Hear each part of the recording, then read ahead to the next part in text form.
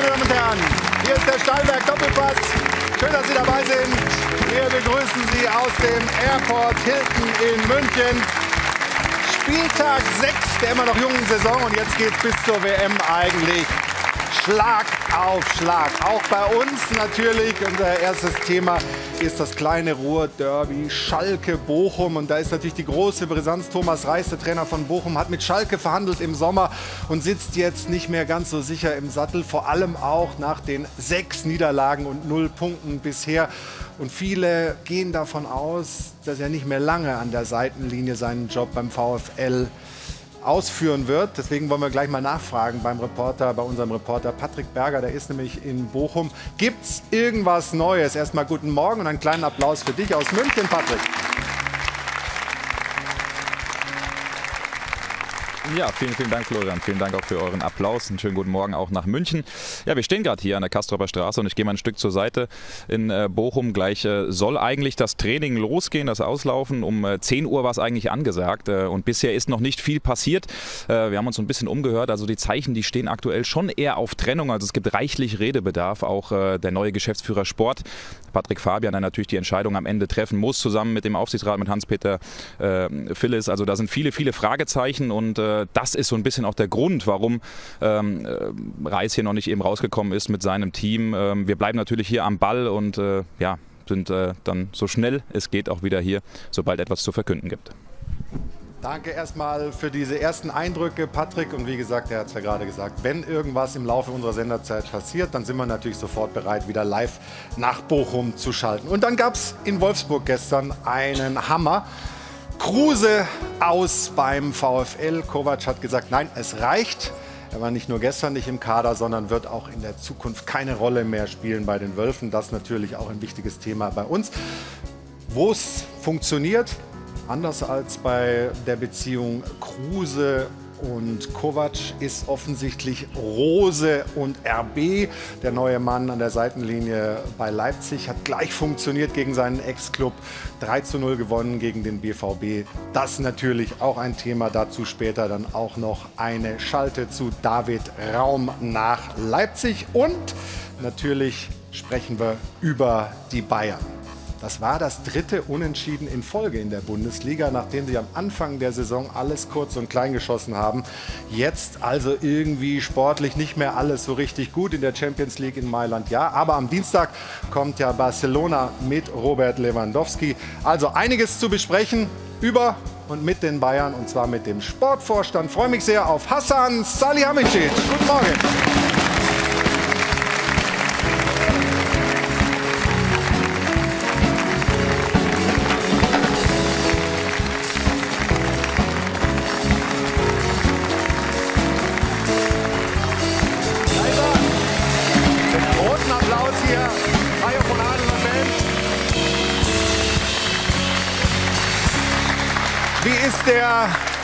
Der Gemütszustand nach drei Unentschieden in Folge in der Bundesliga? Ja, nicht so gut. Ähm, meine, dazwischen haben wir ein Champions League-Spiel gehabt und das haben wir gewonnen. Ja. Ähm, aber natürlich, äh, uns fehlen, sagen wir mal, vier Punkte würde ja. ich sagen. Äh, in Union kann man immer mal äh, unentschieden spielen. Äh, die machen das sehr gut da mit der Atmosphäre, mit dem Stadion, ähm, sehr intensiv. Aber gegen Gladbach und gestern ähm, fehlen uns die Punkte, ganz klar. Wir haben gestern auf der Tribüne ganz unterschiedliche Bilder gesehen. Wenn wir da mal äh, gerade drauf schauen, beim 1 zu 0 Riesenjubel von Hassan Salemic. Was ist mit, Oli Kahn? Hat der nicht mitgekriegt, dass ihr ein Tor geschossen habt? Was war da? ich weiß gar nicht, das sehe ich jetzt zum ersten Mal. Äh. Ja, ja. Aber ich habe mich dann zu ihm gedreht, glaube ich, habe ihm gesagt, komm Olli. Olli, komm. ähm. aber, aber später äh, haben wir dich dann gesehen, da warst du auch nicht mehr so ganz ruhig, hat dich nicht mehr auf dem Sitz gehalten. Da äh, tigerst du auf und ab.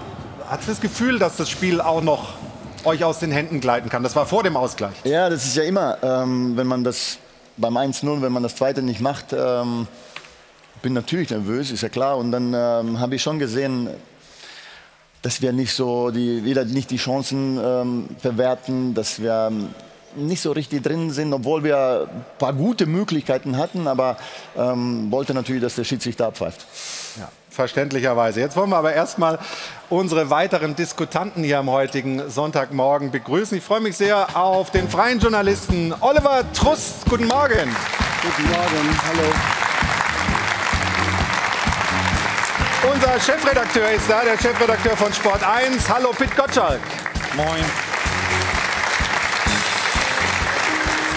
Der YouTuber und auch freie Journalist Manu Thiele ist da. Auch für dich einen wunderschönen guten Morgen. Hallo Manu. Guten Morgen. Und natürlich unser Leistungsträger und zentraler Bestandteil unserer Dopa-Achse. Hier ist Stefan Effenberg.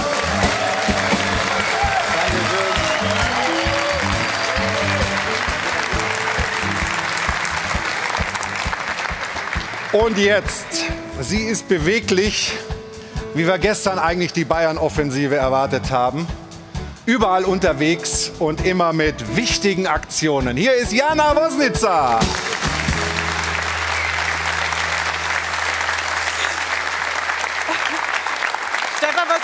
Flo heute Morgen los?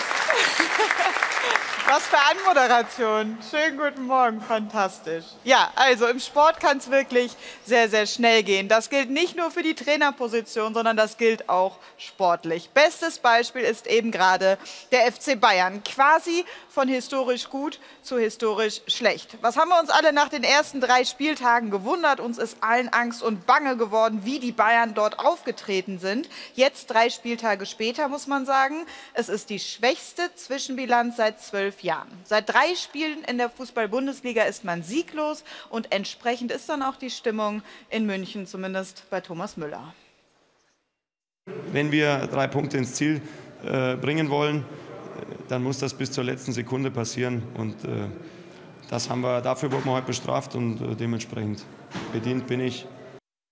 Ja, bedient und das dann auch noch ausgerechnet vor diesem Champions League-Kracher am Dienstag gegen den FC Barcelona und ja auch der Rückkehr von Robert Lewandowski in die Allianz Arena. Deswegen ist unsere Frage der Woche heute, sind die Bayern vielleicht gar nicht so stark, wie wir alle dachten? Diskutieren Sie gerne mit auf Twitter oder rufen Sie uns an am Dopafon. Die Nummer ist wie immer die 01379011011 und es gibt wie immer zwei Tickets zu gewinnen für den Doppelpass on Tour. 27. September macht der Halt in Aschaffenburg. Und Sie können mit dabei sein. Zusammen mit dem Automobilclub von Deutschland verlosen wir zwei Tickets. Viel Erfolg.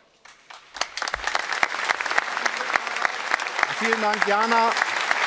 Und Hassan, bevor wir dann über die Bayern sprechen, zunächst mal zum Hammer aus Wolfsburg. Max Kruse ist raus und Nico Kovac hat das gestern so begründet. Also es ist so, dass ähm, wir gemeinsam die Entscheidung getroffen haben, dass ähm, der Max uns in der jetzigen Situation nicht hilft. Denn ähm, wir brauchen genau das, was Sie eben angesprochen haben. Und das sehe ich von ihm nicht. Also ähm, keine Impulse, kein konstruktives äh, Miteinander ähm, dahingehend, dass er der Mannschaft jetzt hilft. Und ähm, wir haben ihm auch mitgeteilt, dass er nicht dabei ist, beziehungsweise auch äh, für uns in Zukunft keine Rolle spielen wird. Das, was wir jetzt brauchen, sind Spieler, die den Fokus, also wirklich aber den Fokus 100 Prozent auf den VfL richten. Ja, es geht einzig und allein um den VfL, um das, was wir erreichen möchten. Und wir möchten schon in der Bundesliga auch erfol erfolgreich sein. Und äh, wie gesagt, ich habe das oder wir haben das bei Max nicht mehr gesehen. Ja, und deswegen ist das die Entscheidung. Jeder ist herzlich eingeladen gewesen, aber wenn das nicht ist, dann haben wir, habe ich die Verantwortung ähm, dem Team, aber auch dem Club gegenüber, dementsprechend auch zu handeln. Das ist ganz klar und ich denke mir, das ist für jeden, der hier im Raum ist, auch verständlich und dann aber auch normal. Deutliche Worte von Nico Kovac. Stefan, wie konnte es so weit kommen aus deiner Sicht? Ja, leider Gottes geht so eine große Karriere dann doch so zu Ende. Ähm, ich meine, der Max hat über 300 Bundesligaspiele äh, gemacht. Das ist schon dann eine große Karriere, hat einen großen Anteil, glaube ich, gehabt letztes Jahr an den Klas Klassenerhalt äh, bei VfL Wolfsburg. Aber ich wiederhole mich, das, was ich letzte Woche auch schon gesagt habe. Wenn er eben diese hundertprozentige Bereitschaft und Fitness nicht hat, dann muss ein Trainer reagieren. Und das hat Kovac gemacht. Dafür kennen wir ihn auch, dass er genau so handelt. Das hat er jetzt getan. Und jetzt kann man eigentlich nur sagen, ich wünsche Max alles Gute. Wahrscheinlich ist es am besten, den Vertrag aufzulösen und dass er nochmal eine neue Station im Ausland, vielleicht in Amerika oder was, äh, nochmal einen neuen Vertrag unterschreibt. Pitt, verliert die Bundesliga einen Typen? Auf jeden Fall verliert man einen Typen, aber mir tut so eine Entwicklung total weh. Bei dem Talent, was Max Kruse hat, wenn der alles aus diesem Talent rausgeholt hätte, mit der richtigen Berufseinstellung, dann wäre das eine große Karriere gewesen. Dann hätte er Länderspiele gehabt, er hätte Turnierteilnahmen gehabt, er wäre vielleicht auch mal ein paar Mal mehr Torschützenkönig geworden, wenn er alles aus sich rausgeholt hätte. Jetzt hat Nico Kovac überhaupt gar keine Wahl. Du darfst dir von keinem Spieler auf der Nase rumtanzen. Das als Trainer, er wird ja sonst unglaubwürdig bei der Rest der Mannschaft. Insofern finde ich das fast zu spät, aber gerade noch rechtzeitig um im Abstiegskampf dann die notwendigen Punkte äh, zu holen. Weil das ist ja auch klar, Wolfsburg steht unten drin und du darfst ja nicht erlauben, da jemanden mitzuziehen und mitzuschleppen, wie so ein Ballast. Und äh, das war überfällig. Es ist nicht fast zu spät, es ist zu spät, denn der Transfermarkt ist geschlossen. Du kannst dir jetzt nicht einen neuen Verein suchen. Und jetzt sitzt da im Zweifel ein halbes Jahr rum und kann nichts machen, was ja auch eigentlich nicht im Sinne des Spielers ist. Was diese Chemie angeht, Kovac und ähm, Kruse, das passt nicht. Also Kovac ist ja jemand, der gerne Arbeiter hat, die gegen den Ball arbeiten, die viel rackern. Und das ist Kruse noch nie gewesen. Und das mhm. wird er wahrscheinlich auch nie mehr sein. Hassan, du kennst ja Nico auch. Was muss passieren, bis er so die Geduld verliert? Boah, ähm, natürlich äh, hat er seine Prinzipien, glaube ich, und äh, ähm, hat, hat sie irgendwie abgezeichnet, auch schon die ganze Zeit haben sie ein kleines Problemchen gehabt. Ähm, mir tut das auch genauso leid, weil er ein riesen Fußballer ist. Also der ist wirklich ein guter Fußballer und äh, ähm, ich bin aber zu weit weg jetzt, um zu wissen, was zwischen denen jeden Tag passiert ist. Aber ähm, auf jeden Fall verliert man, verliert die Bundesliga einen, einen, einen richtig guten Fußballer. Wir wollen mal schalten zu einem Kollegen, Lars Vollmering, der ähm, Wolfsburg-Experte ist, Journalist, der sich mit dem VfL äh, intensiv befasst. Guten Morgen, Lars. Grüße erst mal aus München. Guten Morgen, Andy und Indra, hallo. Vor allem an unsere Ex-Spieler Brazzo und Erfe. Ja. Was ähm, kannst du uns an Hintergründen geben? Weil Hassan hat ja völlig zu Recht aus seiner Position gesagt, er ist zu weit weg, um das zu beurteilen. Was hat letztlich dazu geführt, dass äh, diese Ehe Wolfsburg-Kruse und vor allem Kovac-Kruse äh, jetzt geschieden wird? Das ist die Summe der Einzelteile, würde ich sagen. Es gab nicht den einen Vorfall, wo man jetzt sagen kann, das ist jetzt der, ja, der Punkt gewesen, wo man sich dann jetzt auch wahrscheinlich dann auch trennen wird und noch trennen muss. Max Kruse hat, seit er beim VfL Wolfsburg ist, seit der Rückkehr zum VfL Wolfsburg, ich sage mal, ein bisschen geschaltet und gewaltet, wie er gerne möchte. Man hat ihn da auch wenig eingebremst, äh, war wahrscheinlich mehr auf Twitch unterwegs als dann auf dem Trainingsplatz. Und äh, das hat man sozusagen durchgehen lassen, weil man ja ihn auch gebraucht hat. Und die Qualitäten, die sind unbestritten und er hat einen Anteil am Klassenhalt. Effe hat es eben gerade gesagt, das ist auch vollkommen richtig so, aber die Zeiten haben sich dann auch gewandelt. Und äh, wir haben jetzt eine Situation, wo alle mitziehen müssen beim VfL Wolfsburg. Und da war er offensichtlich nicht in der Lage oder er wollte es letztendlich auch nicht, obwohl man ihm da einige Brücken gebaut hat. Und äh, ja, letztendlich ist die Handlungsweise von Nico Kovac absolut konsequent und äh, auch richtig aus meiner Sicht. Was glaubst du denn, wie es jetzt weitergeht? Weil Stefan hat ja gesagt, er würde sich wünschen, man löst den Vertrag auf, er würde vielleicht nach Amerika wechseln. Es gibt ja einige Länder, wo man noch hinwechseln kann. Weil wenn er jetzt da bleibt und nur irgendwie mit der zweiten Mannschaft trainiert oder nur seine Runden dreht oder sowas, das sorgt ja auch nicht gerade für Ruhe. Also was ist die wahrscheinlichste Variante, wie es jetzt weitergeht?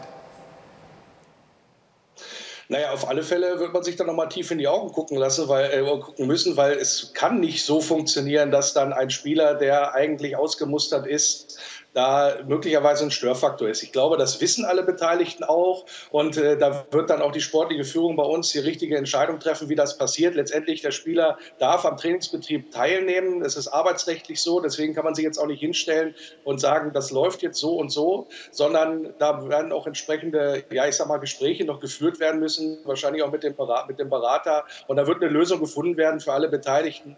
Letztendlich äh, ist das ja auch noch eine sehr, sehr frische und überraschende Situation. Also wir im Umfeld haben davon mehr oder weniger nichts geahnt. Am Mittwoch gab es noch einen Termin bei Eigner Volkswagen. Da hat er noch munter mit der Mannschaft an der Linie, an der, an der, am Band noch rumgeschraubt, um da mal zu schauen, wie das denn letztendlich auch in Wolfsburg funktioniert. Und da wirkt er auch nicht äh, isoliert von der Mannschaft oder da hat auch nichts darauf hingedeutet, dass das in diese Richtung gehen könnte. Aber äh, Nico Kovac, äh, Marcel Schäfer und Jörg Schmatke werden sich das sehr genau überlegt haben, was sie da tun, weil sie natürlich auch wissen, was das für Auswirkungen hat. Und äh, deswegen bin ich auch ziemlich sicher, dass sich das relativ schnell regelt. Stefan, was glaubst du denn, warum Max nicht mehr diesen, diesen Willen entwickelt hat, auch wirklich nochmal an sich zu arbeiten, was, was Fitness angeht äh, und, und, sagen wir mal, Engagement? Woran liegt das? Also die Nummer von Max, dann rufe ich ihn an. Das kann ich ja gar nicht be beantworten. Fakt ist aber, ähm, dass wenn Kovac sagt, er wird nicht mehr für den VfL Wolfsburg spielen, dass du den Vertrag auflösen musst, weil so einen willst du im Trainingsbetrieb auch nicht haben. Das ist doch ganz logisch. Ich glaube, darum geht es und das ist viel wichtiger. Ich glaube, der entscheidende Punkt beim Max war einfach die Fitness ähm, und die Bereitschaft eben zu zeigen, auch ich bin Teil der Mannschaft und tue auch alles dafür, zurückzukommen in einem hundertprozentigen Zustand. Das ist ihm nicht gelungen. Und deswegen hat Kovac eben diese Reißleine gezogen und hat gesagt, er wird äh, nie mehr für den VfL Wolfsburg auflaufen. Logische Konsequenz. Also wir haben über Nacht natürlich Kontakt mit Max Kruse gehabt und er hat uns auch wissen lassen, dass ein Statement kommen wird. Er hat gesagt, es ist jetzt noch nicht der richtige Zeitpunkt. Es ist ne? noch nicht der richtige Zeitpunkt. Er möchte das erstmal noch sacken lassen. Er muss ja die Dinge auch mal für sich jetzt äh, sortieren. Auch der Verein muss da sortieren. Das sind ja Vermögenswerte. Das ist ein laufender Vertrag. Und du kannst ja nicht einfach jemanden rauswerfen und dann alles in der Bilanz auf Null stellen. Also da sind noch viele Hausaufgaben zu erledigen. Wir waren ja alle überrascht gestern. Aber das Statement von Max Kruse wird kommen.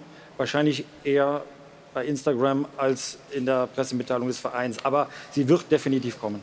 Ja, okay, da warten wir natürlich drauf. Und sobald äh, da dann was kommt, werden wir sicherlich auch hier im Stahlwerk Doppelpass darüber berichten. Erstmal danke dir, Lars, äh, für die Informationen aus Wolfsburg vom VfL. Grüße aus München und äh, bis bald mal. Ciao. Ciao. Vielen Dank. Hassan, auch wenn du gerade gesagt hast, ja, du bist äh, da natürlich weit weg, aber ganz grundsätzlich kann man das ja beurteilen, wenn jemand dann raus ist und bleibt aber trotzdem noch im Trainingsbetrieb, äh, ist sicherlich keine gute Situation, oder? Ja, natürlich nicht. Also das ist ja dann besonders so ein Spieler. Ich meine, äh, Max ist ein Spieler, der normalerweise das Spiel an sich zieht. Der, vieles geht über ihn. Ähm, er ist ein Riesenfußballer meiner Meinung nach. Ähm, gut, jetzt ähm, äh, das ist jetzt passiert, aber klar, die werden sich ähm, sicherlich zusammensetzen und, und äh, das klären. Ich meine, es ist ja nie eine gute Idee, ähm, einen Spieler mitzuschleppen und äh, diese ganzen Dinge äh, auszuhalten, die dann damit äh, verbunden sind. Und Max Kruse ist ja jetzt kein Spieler oder kein Mensch, der ein zurückgezogenes Leben führt, sondern wir erfahren, wirklich, ja. wir erfahren jeden Tag, wann er frühstückt und all solche Dinge. Der VfL Wolfsburg trainiert, Max Kruse frühstückt. Und wenn du das jetzt monatelang hast, das aber nicht um 10. Ne? Also das habe ich jetzt auch. Ja, ja, also genau. nicht um 10, also die genau, später, glaube ich. Die genauen Uhrzeiten und alles ja, werden wir genau. jetzt äh, von Jana erfahren. Die hat nämlich da im Netz natürlich und da gibt es ja immer die Informationen nicht nur über Max Kruse, sondern von Max Kruse hat er genau aufgepasst, was da so in der letzten Zeit gekommen ist. Äh, zur Causa Max Kruse. Bitte, Jana. Ja, das ist jetzt aus der Kategorie Investigativjournalismus, was ich Ihnen jetzt hier präsentieren werde. Aber man kommt bei Max Kruse natürlich nicht drum herum. Wir fangen an auf seinem Instagram-Account. Dort hat er sich dann gestern Abend noch zu Wort gemeldet. Allerdings, äh, ja, nicht wirklich mit einem Statement oder vielleicht ist es auch ein Statement. Also es hieß einfach nur quasi Wild Saturday Night. Also da war ein ähm, Party-Song, It's Friday, then Saturday. Scheint jetzt nicht so, als hätte es ihm wirklich im Herzen getroffen. Bei seiner Freundin, die Lara, konnte man aber, und darauf hat die Runde eben angespielt, zuvor schon was auf Instagram entdecken. Deswegen jetzt auch, dass wir alle wissen, dass Max Kruse erst um 14 Uhr frühstückt, denn das hat sie dort verkündet. Wir hören einmal rein. Hallo. Was geht ab? Und jetzt fahren wir Richtung Kreuzberg und schauen uns gleich mal Fußball an.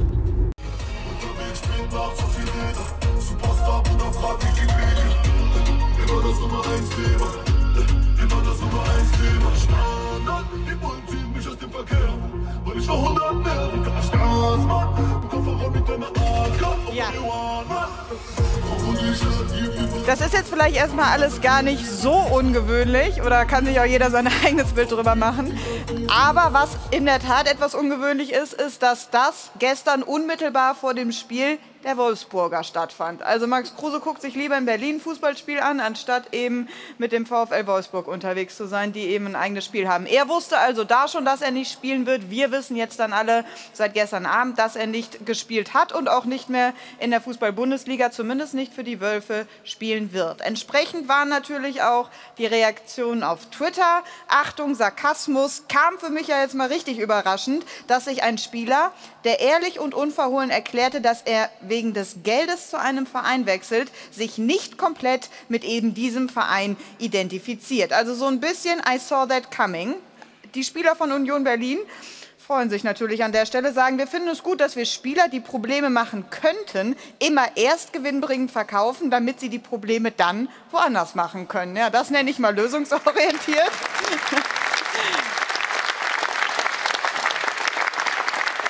Jetzt hat Stefan eben gesagt, er hofft, der Vertrag wird aufgelöst und dann findet er vielleicht noch mal ein Engagement im Ausland.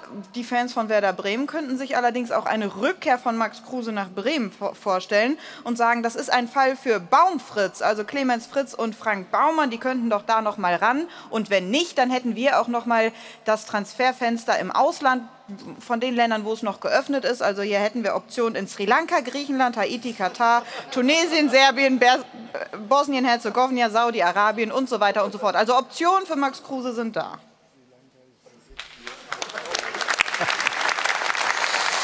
Ja, Pitt. Die Frage bei diesen Videos ist ja, ja für welche Altersgruppe ist das? Sechs das bis neun oder für die über zwölfjährigen? Insta ist schon ein bisschen das älter. Ist ja, das ist ja, ja das, was ich ja. sagen wollte, Pitt. Wir haben da die Gnade der frühen Geburt. Wir müssen das nicht mehr alles verstehen. Aber Manuel, ich habe dich als YouTuber angekündigt. Du bist doch da zu Hause. Ich folge dir nicht, ehrlicherweise. Was? Nein. das ist auch nicht meine Welt. Nein, aber ich glaube, dass diese Öffentlichkeit ihm so ein bisschen auch zum Verhängnis geworden ist. Nur weil man auf Twitch unterwegs ist, heißt das ja noch lange nicht, dass du deinen Job nicht ernst nimmst. Man sieht halt, was er in seiner Freizeit macht. Aber sehen wir, was die ganzen Bayern-Spieler in ihrer Freizeit machen? Ob die in eine Shisha-Bar gehen zum Beispiel?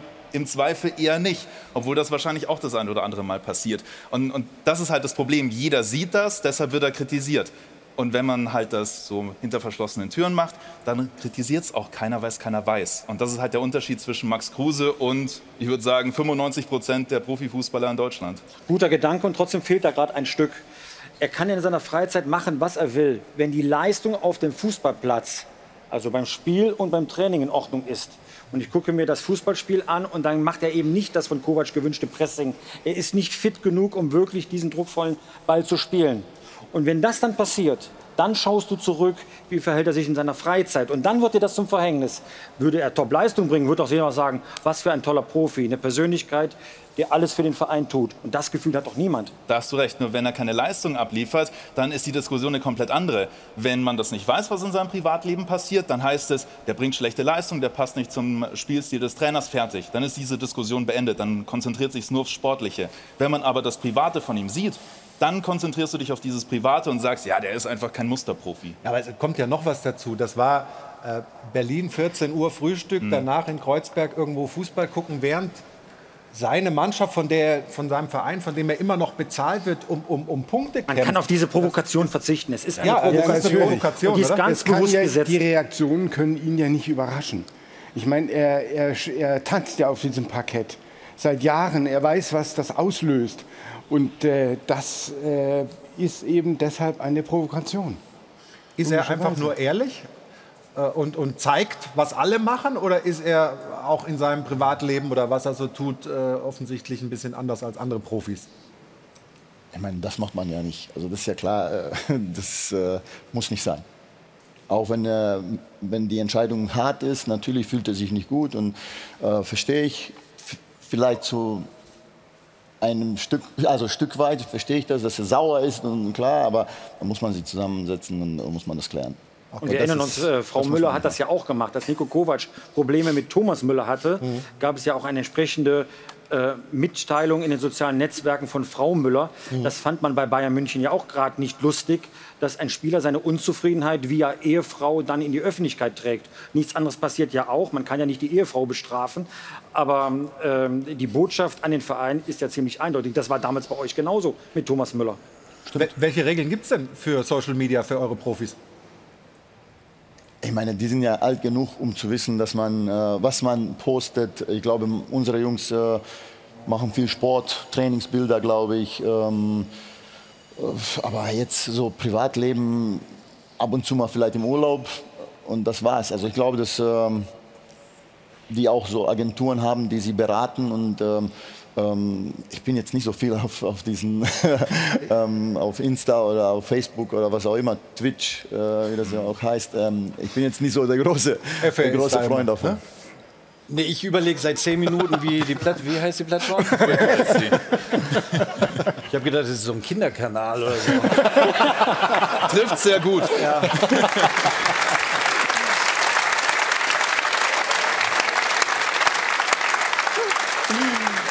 Sonntagmorgen der Kinderkanal auf Sport 1. Sehr gut, ja genau. Ja, das ist natürlich, das ist natürlich grenzwertig. Ist schon ein bisschen Kindergarten. Natürlich ist es grenzwertig. Und, aber vielleicht will er das ja genauso. Ja, davon ist auszugehen, sonst würde er es nicht so machen. Wenn du gestern gesehen hast, wie ähm, Oliver Hunert ähm, bei den Kollegen vom Sportstudio geradezu geschwärmt hat über diesen Freigeist Max Kruse, der ja bei Ihnen immer, als wäre er so der Kicker beim Football, der das Ding dann nochmal durchs Tor haut, also ein Mann für besondere Momente, ähm, da hat er schon sehr geschwärmt. Ja, ja, das, dass, dass, dass, er, dass, er, ein toller Fußballer genau, ist, wissen genau. wir doch alle. Also das sollten wir auch nicht vergessen. Auf, und das muss auch Fall. rausgestellt werden. Also wir haben hier Kritik, Kritik auch völlig zu Recht. Total nachvollziehbar, aber wir dürfen nicht vergessen, du kommst nicht auf fast 100 Bundesligatore, nicht auf fast 100 Assists und über 300 Bundesligaspiele, wenn du nicht die Fitness gehabt hättest. Also er hat halt nachgelassen mit der Fitness und vielleicht ist es auch dem Alter geschuldet, aber das ist jetzt die Konsequenz. Und ich glaube, diese, dieses Positive dürfen wir auch nicht vergessen. Absolut.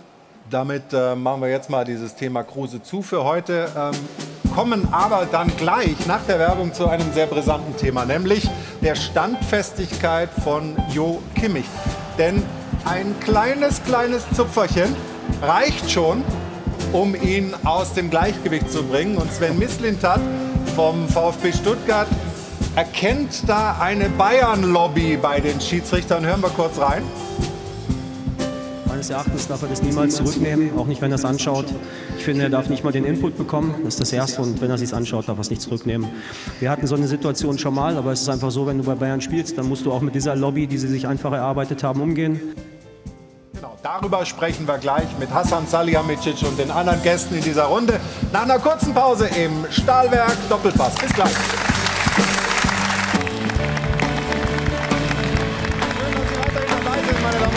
beim Stahlwerk Doppelpass aus München, aus dem Airport Hilton. Hajo von Hadeln und Band unterhalten uns wie immer in den Pausen vorzüglich. Äh, Hassan Salihamidzic, Sportvorstand des FC Bayern, ist heute unser Stargast. Freuen uns sehr, dass er sich Zeit genommen hat für unsere Runde, für unsere Zuschauerinnen und Zuschauer. Und haben ja schon gerade vor der Werbung ein bisschen angeteasert. Da gibt es durchaus Gesprächsbedarf wegen der sportlichen Ergebnisse, aber auch wegen ein paar Szenen, die gestern passiert sind. Es ist der schlechteste Saisonstart rein punktemäßig seit zwölf Jahren. Das dritte Unentschieden in der Bundesliga in Folge. Er hat gesagt, sechs, äh, sechs Punkte sind es nicht, sondern vier Punkte haben wir wahrscheinlich lieben gelassen. Sebastian Bernsdorf versucht eine Bestandsaufnahme beim Rekordmeister.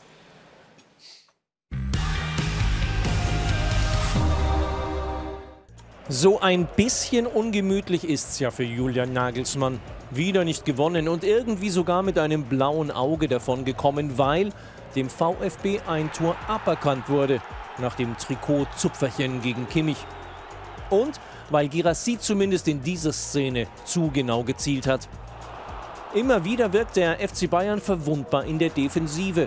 Und sicher fragen sie sich auch schon in der Führungsetage des Rekordmeisters, wo ist eigentlich der Schwung des Saisonstarts hin? Überlegen? Ja, wie immer giftig und entschlossen? Nein. Und selbst nach dem Führungstreffer waren nicht alle glücklich. Schauen Sie mal auf den Herrn rechts unten. Immerhin nach dem neuerlichen und herrlichen Führungstreffer durch Musiala schien auch Oliver Kahn daran zu glauben, dass sich alles zum Guten wenden würde. Doch es fehlte weiterhin der Biss, um einen tapferen Underdog niederzuringen. Stattdessen, und Sportvorstand Salihamidzic schien es fast zu ahnen, gab es das Last-Minute-Elver-Geschenk für Girassi und die Stuttgarter. Trainer Nagelsmann ist in seinem zweiten Münchner Jahr annähernd mit seinem Wunschkader ins Rennen gegangen. Erwartet wird von ihm nicht weniger als Super Bayern daraus zu formen. Doch in der Bundesliga stagnieren die Leistungen des Meisters und weil nicht einmal die Ergebnisse stimmen, fragen wir, warum sind die Bayern unter Nagelsmann nicht stabil und souverän? Warum? Was sind die Probleme, die es gibt? Ja gut, also haben wirklich einen guten Start gehabt ähm, mit den drei Spielen, ähm, haben jetzt in der Champions League auch gewonnen, haben natürlich, wie ich schon vorhin gesagt habe, ähm, gegen Gladbach zwei Punkte liegen lassen. Nach 33 Torschüssen, glaube ich, riesen Torwartleistung und so weiter, ähm, hätten gewinnen müssen. Klar, war wirklich ein super Spiel. Fans haben im Stadion äh, wirklich viel, viel Spaß gehabt, war ein attraktives Spiel. Ähm, in Berlin haben wir kann man, habe ich auch gesagt, kann man unentschieden spielen. Gestern nicht. Gestern ist das einfach zu wenig. Und da muss man ganz klar sagen, und weiß auch jeder Spieler, dass wir. ähm, Dass das Gestern war es ja auch nicht so wie gegen Gladbach, dass da äh, wahnsinnig viele Chancen gespielt wurden und einfach nur der Ball nicht reinging. Richtig, Also klar, gab es ein Übergewicht, aber nicht so, wie man es vielleicht erwartet hätte. Ja, der Trainer hat ein bisschen, äh, sage ich mal, die, die Mannschaft auch äh, verändert, äh, ein bisschen sehr verändert, was auch okay war. Ähm, ich glaube, dass, da, dass wir nach dem Champions League-Spiel ähm, viele Spieler hatten, die sich auch verdient haben, äh, nochmal zu spielen nach dem Pokalspiel. Ähm, Klar, dass das dann nicht so läuft, wie, wie man äh, sich das vorstellt, haben wir vielleicht auch erwartet ein bisschen, aber trotzdem erwartet, dass wir das Spiel gewinnen. Und ähm, ja, jetzt äh, sage ich ähm, ganz klar, das ist nicht unser Anspruch. Wir müssen Tore machen, wir müssen das Spiel gewinnen, wir müssen zu Hause auch attraktiv, attraktiver spielen. Klar, wir wollen die, äh, unsere Zuschauer auch zufriedenstellen und das war gestern einfach nicht gut. Das weiß aber jeder und ähm, jetzt geht's weiter. Jetzt geht's weiter. Also, ich will ja nur damit sagen, ähm, ich sehe das jetzt, es ist vielleicht eine, ähm, sag mal, Ausrutscher gewesen, aber ich will es jetzt nicht schwarz malen. Wir haben so große Aufgaben vor uns und ich äh, glaube, wir sind immer noch am Anfang der Saison, ähm, ähm, sind, sage ich mal, mit diesem Kader jetzt ähm, ja, finden uns auch, äh, wie rotieren wir. Ähm, der Trainer muss natürlich auch ähm, viele ähm, zufriedenstellen, die immer wieder, sage ich mal, gut spielen, aber natürlich nicht jeder hat den Platz, jedes Spiel. Ähm, und das ist jetzt äh, so ein bisschen rauszufinden, gutes äh, Händchen zu haben, Fingerspitzengef äh, Fingerspitzengefühl zu haben, wann, wie viel rotiere ich und äh, ähm, das habe ich ihm aber auch gesagt, muss ich auch sagen. Es ist mir lieber, dass wir vielleicht einmal mehr unentschieden spielen, als dass wir schlechte Stimmung haben, dass wir viele Spieler, viele Unzufriedene haben. Ähm, deswegen ähm, ist das, sage ich mal, muss man diese Mischung finden. Und ähm, ja, deswegen sehe ich das nicht so schwarz, sondern ähm, wir machen weiter. Also ich möchte gerne bei Bayern München schwarz malen, weil ich freue mich, wenn heute Nachmittag mal Union in Freiburg vor Bayern steht. Ich möchte diese Spannung der Bundesliga haben. Das mal vorneweg. Mhm. Aber wir kriegen zu viele Stimmen aus der Mannschaft heraus, dass Nagelsmann Schwierigkeiten hat, die gesamte Truppe, den gesamten Kader bei Laune zu halten. Da gibt es schon Unzufriedenheiten über die Kommunikation. Kannst du das in dieser Form bestätigen, dass er da neben dem Fachlichen echt noch Lernbedarf hat, wie man eine so große Truppe bei Laune hält? Ich denke, wir sind alle gefragt. Also natürlich ist der Du Trainer. lenkst jetzt aber ab. Ich möchte jetzt schon Richtung Nagelsmann fragen. Ja? Ja, also ähm, natürlich findet der Julian auch seinen Stil, gerade weil äh, so ein Kader hat er auch noch nicht gehabt.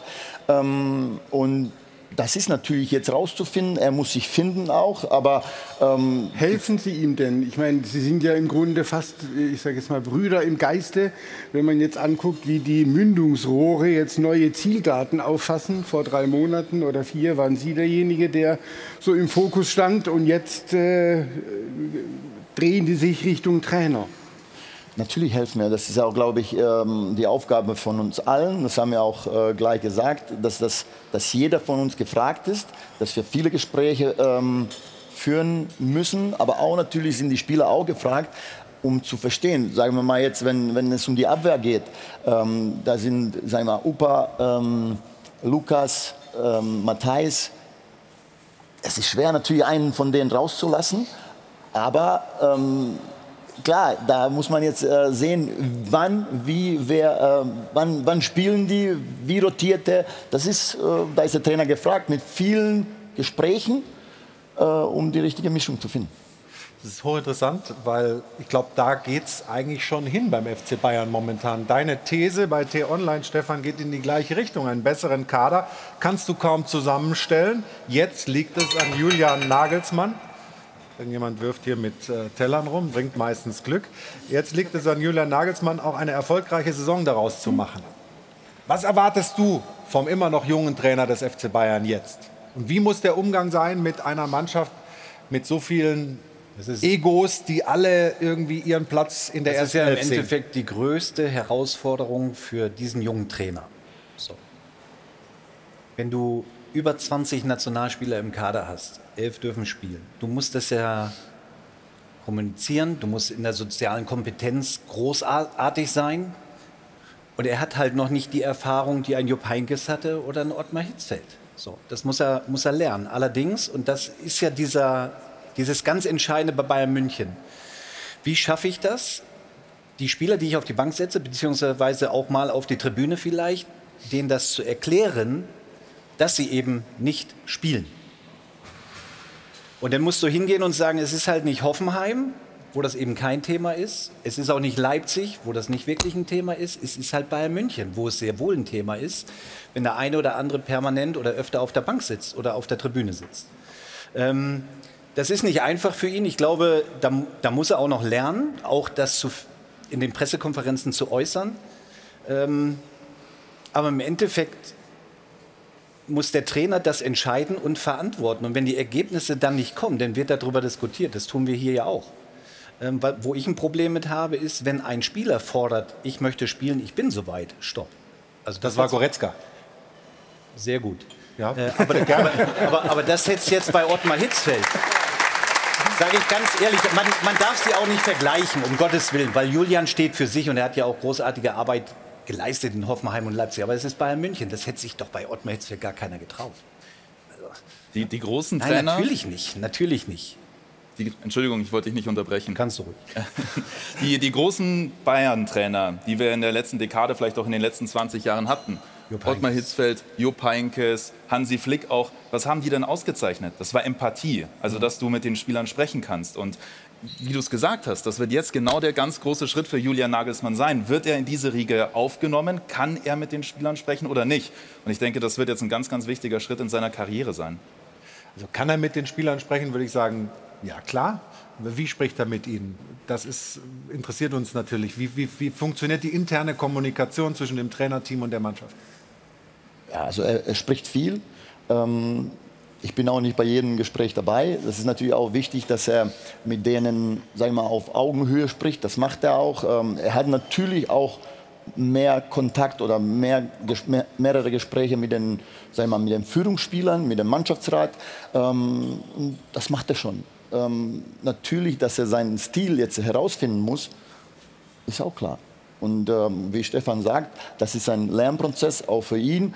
Ähm, aber äh, deswegen ist Bayern München Bayern München. ähm, das, ist, das ist nicht so einfach, besonders wenn man so viele Spieler hat, die von Anfang an spielen können. Die können ja fast alle von Anfang an spielen. Und ähm, deswegen ist diese interne Kommunikation, deswegen sind diese Gespräche ganz wichtig. Aber bleiben wir mal ganz konkret. Ramal Musiala hat einen fantastischen Saisonstart hingelegt. Wir waren ja wirklich hier unison am Schwärmen. Und auf einmal spielte er plötzlich nicht mehr. Das hat die Öffentlichkeit nicht verstanden, ist der Öffentlichkeit auch nicht wirklich überzeugend erklärt worden.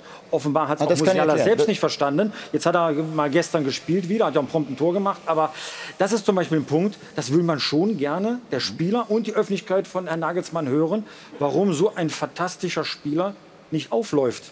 Das kann ich erklären. Also das, äh, bei, bei Jamal, der hätte auch wahrscheinlich gespielt, aber er hatte ein Problem irgendwie an der Hüfte, äh, muskulär. Ähm, deswegen haben sie ihn eher mal ein, zwei Spiele rausgenommen. Er ist immer reingekommen oder ein Spiel war er auch gar nicht dabei. Ähm, aber dass er, dass er riesen Start hatte und dass er gespielt hätte, 100 Prozent. Äh, das weiß der Trainer auch und ähm, das weiß der Jamal auch. Das, das hat er dem auch erklärt, aber der war ein bisschen verletzt. Aber Bei ich, dem Spieler jetzt. Wo, wo ich ein bisschen Probleme mit hatte, ist eben, du, du spielst gegen Inter Mailand, machst ein gutes Spiel, dann kommst zurück, hast Äh, Stuttgart vor der Brust und in zwei Tagen gegen, gegen Barcelona. Barcelona, ja. Ich hätte als Spieler ein Problem damit, wenn der Trainer so groß rotiert hätte. Also Nagelsmann. War dir zu viel, ja? Das ist mir zu viel. Ja, das ist mir zu viel, weil dann kann auch mir kann ja auch denn keiner erzählen, ja, aber ich muss jetzt mal den ein oder anderen spielen lassen. Darum geht es gar nicht. Es geht sich darum, das Spiel zu gewinnen. Und zwar mit den besten Leuten, die ich habe. Und dann stelle ich sie lieber rotiere im Kleinen, also sprich ein oder zwei Leute, Goretzka mal von Anfang an spielen zu lassen, alles gut, oder noch einen anderen, ähm, und nehme sie nach 60 oder 65 Minuten raus. Ähm, aber ich hätte jetzt nicht in dem Stil mit sechs, neun Leuten, das hätte ich jetzt nicht gemacht, weil das Ergebnis steht erstmal über allen. Ist doch klar, dass wir jetzt darüber diskutieren. Absolut, ist auch berechtigt, wenn wir das Spiel nicht gewinnen, dann muss man darüber diskutieren, war vielleicht viel. Wenn wir das Spiel gewonnen hätten, hätten wir heute hier gesessen und hätten gesagt, super, wir haben die anderen geschont, die werden gegen Barcelona ähm, 100% Kräfte haben, mehr als 100% geben können. Ähm, die, ich glaube, Barcelona hat ja auch fünf äh, geschont. Da haben auch Lewandowski und, und Dembele und Pedri und was auch immer nicht gespielt. Ähm, nun, die haben 4-0 gewonnen. So wir haben 2-2 gespielt.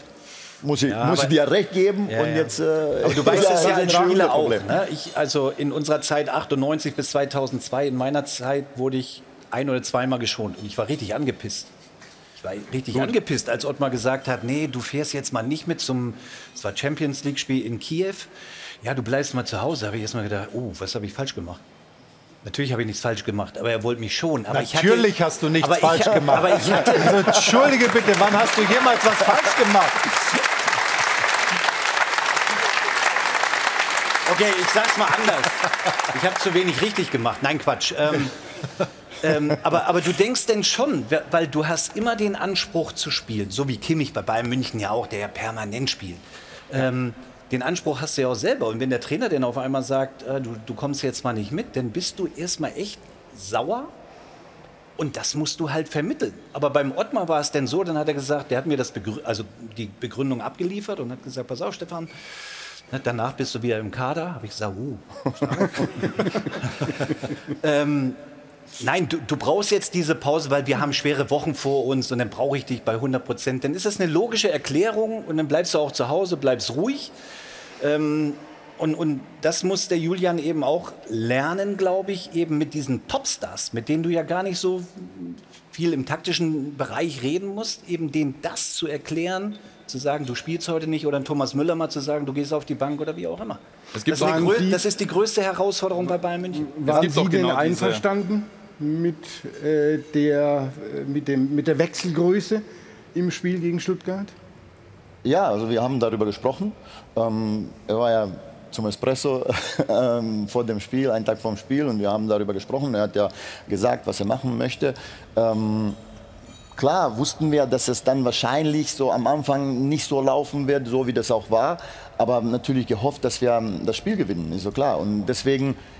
Aber Wäre ja auch möglich gewesen, ehrlicherweise, gestern. ja, also wir haben wirklich viele Situationen auch gehabt, die wir besser rausspielen können, haben gute Chancen gehabt, aber es war ja, ich gebe auch allen recht, es war ja nicht so ein Spiel wie gegen Gladbach, was, was uns alle von den äh, Sitzen gerissen hat, sondern es war schon ein bisschen so Sand im Getriebe, aber da waren auch viele Spieler eben, die, die nicht so viel gespielt haben. Aber wir müssen eben auch solche Spiele haben, wo die Jungs alle zum Einsatz kommen, nun wir müssen gewinnen.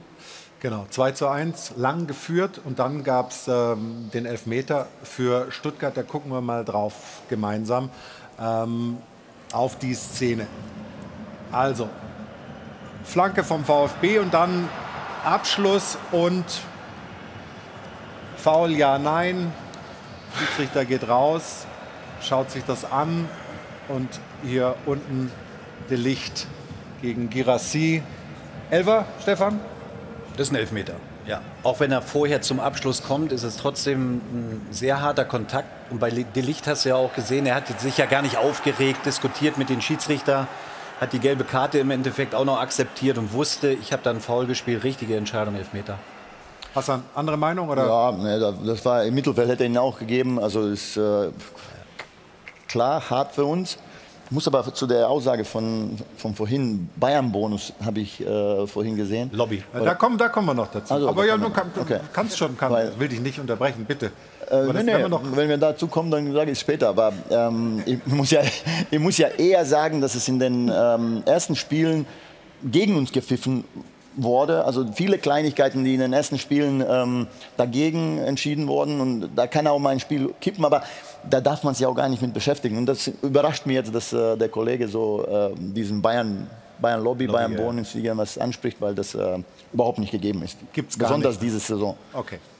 Wir sprechen darüber gleich hier in der Runde, aber wir wollen die erweitern und zwar in unserer Schiedsrichterrubrik, mit der wir jetzt beginnen.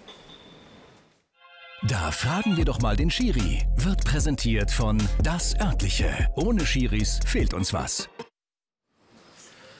Und wir begrüßen dazu, und jetzt wird es äh, ganz technokratisch, ein wunderschöner Begriff oder eine wunderschöne, ein wunderschöner Titel, den leitenden Koordinator für Regelauslegung. Hallo, Lutz Wagner.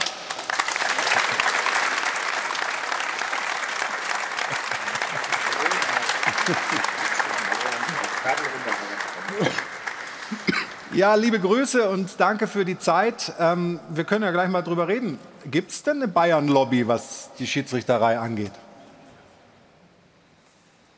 Also ich denke, mit solchen Dingen müssen wir uns immer mal auch beschäftigen, aber die sind schon sehr an den Haaren herbeigezogen, sind sehr populistisch und definitiv, ich kann dafür alle Kollegen sprechen, das gibt's nicht. Und Salihamidzic wird jetzt mit Sicherheit auch gleich ein paar Beispiele finden, wo es gegen Bayern ging. Also ich denke mal, das sind Dinge, die gleichen sich auch im Laufe einer Saison aus. Und selbst in diesem Spiel sehen wir es einmal eine Entscheidung für Bayern, einmal gegen Bayern mit dem Strafstoß. Also da kann man an- anscheinend auch schon ganz klar sehen, das ist nicht der Fall.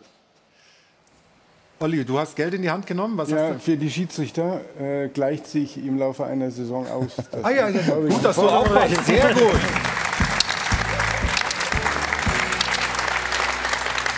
Also Lutz Wagner, wir hatten hier in der Runde ähm, keine Diskussion, was den Elfmeter für Stuttgart angeht, aber es gab ein aberkanntes Tor für den VfB nach einem leichten Zupfer gegen Jo Kimmich. Wir schauen uns die Szene mal an und ich würde die erst hier in der Runde besprechen und dann die offizielle Sicht vom DFB, vom leitenden Koordinator für Regelauslegungen abrufen. Erstmal eure Meinung hier, Stefan. Reicht dieses leichte Zupfen hier erstmal, um Jo Kimmich komplett der Standfestigkeit zu berauben und um dann ein Tor abzuerkennen, deiner Meinung nach? Für mich ist es ein Tor. Für mich ist es ein Tor. Ähm, weil wenn das reicht für einen Foul, Joe Kimmich nimmt es natürlich an. Ne? Er dreht sich ja schon völlig ver verkehrt, falsch mit dem Ball. Hat so die ganzen Gegner im Rücken und weiß, jetzt wird's eng. Er nimmt natürlich den Kontakt an. Aber dass der Schiedsrichter sich dann aus dem Keller meldet, finde ich unverständlich. Also für mich war das ein korrektes Tor, weil wenn bei jedem Zupfer, nehmen Standardsituationen, nehmen Eckbälle. Ich meine, ihr wisst das nicht, weil ihr da nicht gespielt habt, aber da wird per Immer die gleiche Leier. Ja, verrückt. Nein, aber da wird ja immer gehalten, gezogen. Und wenn Ja. du dann sagst, wenn einer gezogen wird, geht auf die Knie, dann hast du vier, fünf, sechs Spieler wahrscheinlich, die auf die Knie gehen, weil genau das passiert.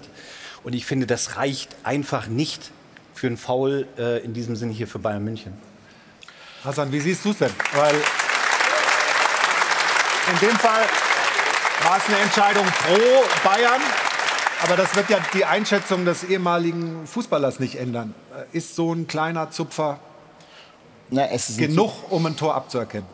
Ja, also jetzt ist es sehr gefährlich. Sagen wir mal so, im, im 16er. ja, ja, genau. Erstmal im 16er ist es natürlich sehr gefährlich aufzuhören. Ähm, Also dass was er Jo macht. deswegen fällt, dass er deswegen fällt. Er zieht ja natürlich das Foul. Er, spürt, dass er, dass er ihn zieht. Ähm, am Ende habe ich mich gar nicht mehr damit beschäftigt, dass äh, er hat gepfiffen fertig. Das reicht mir. Und deswegen, ähm, wenn der Stefan seine Analyse gibt, muss er ja machen. Aber, Dann hat er ähm, recht, oder? Ähm, ich hätte es auch gepfiffen. Ist ja mein Spieler. Also ist ja unser Spieler. Also, also doch. Im Mittelfeld, Im Mittelfeld hätte er ihn wahrscheinlich auch gepfiffen. Also deswegen jetzt, dass er daraus natürlich dass sofort ein Tor entsteht, das meine ich. Es ist gefährlich, wenn der Jo da, sage ich mal, fällt, weil kann es auch mal passieren, dass er, denn, dass er das nicht pfeift. So ist es. Warum kämpft er nicht weiter um den Ball eigentlich? Das erwarte ich eigentlich von ihm. Und eigentlich ist er ja auch so ein Spielertyp, der, der hart in den Zweikämpfen ist. Ähm, und von daher, also mir ist es ja schon öfter bei ihm aus, aufgefallen. Wir haben leider keine Bilder gefunden, aber auch in den, im letzten Jahr waren vier, fünf Situationen dort, wo einer gezupft Wir- wir hätten oder jedes wo er, Bild gefunden, warte, warte, du warte, wo er gezupft wurde und er geht auf die Knie. Da habe ich damals schon gesagt, das sollte er sein lassen. Und das hat er jetzt wieder gemacht, weil er einfach nicht der Spielertyp ist. Ja, also nochmal, er geht hart in die Zweikämpfe, wird ein bisschen gezupft und geht auf die Knie. Come on. Ah, Das wird er auch nicht mehr machen. Nee, sollte lass er uns- auch nicht, Lass, weil- lass uns das mal abschließen. Das wird er auch nicht mehr machen. Das hat er jetzt, das hat er jetzt äh, einmal Die- gemacht. Ähm, Die Regie sitzt gelaufen. hier nicht auf den roten Stühlen, sondern Aber- die ist da hinten.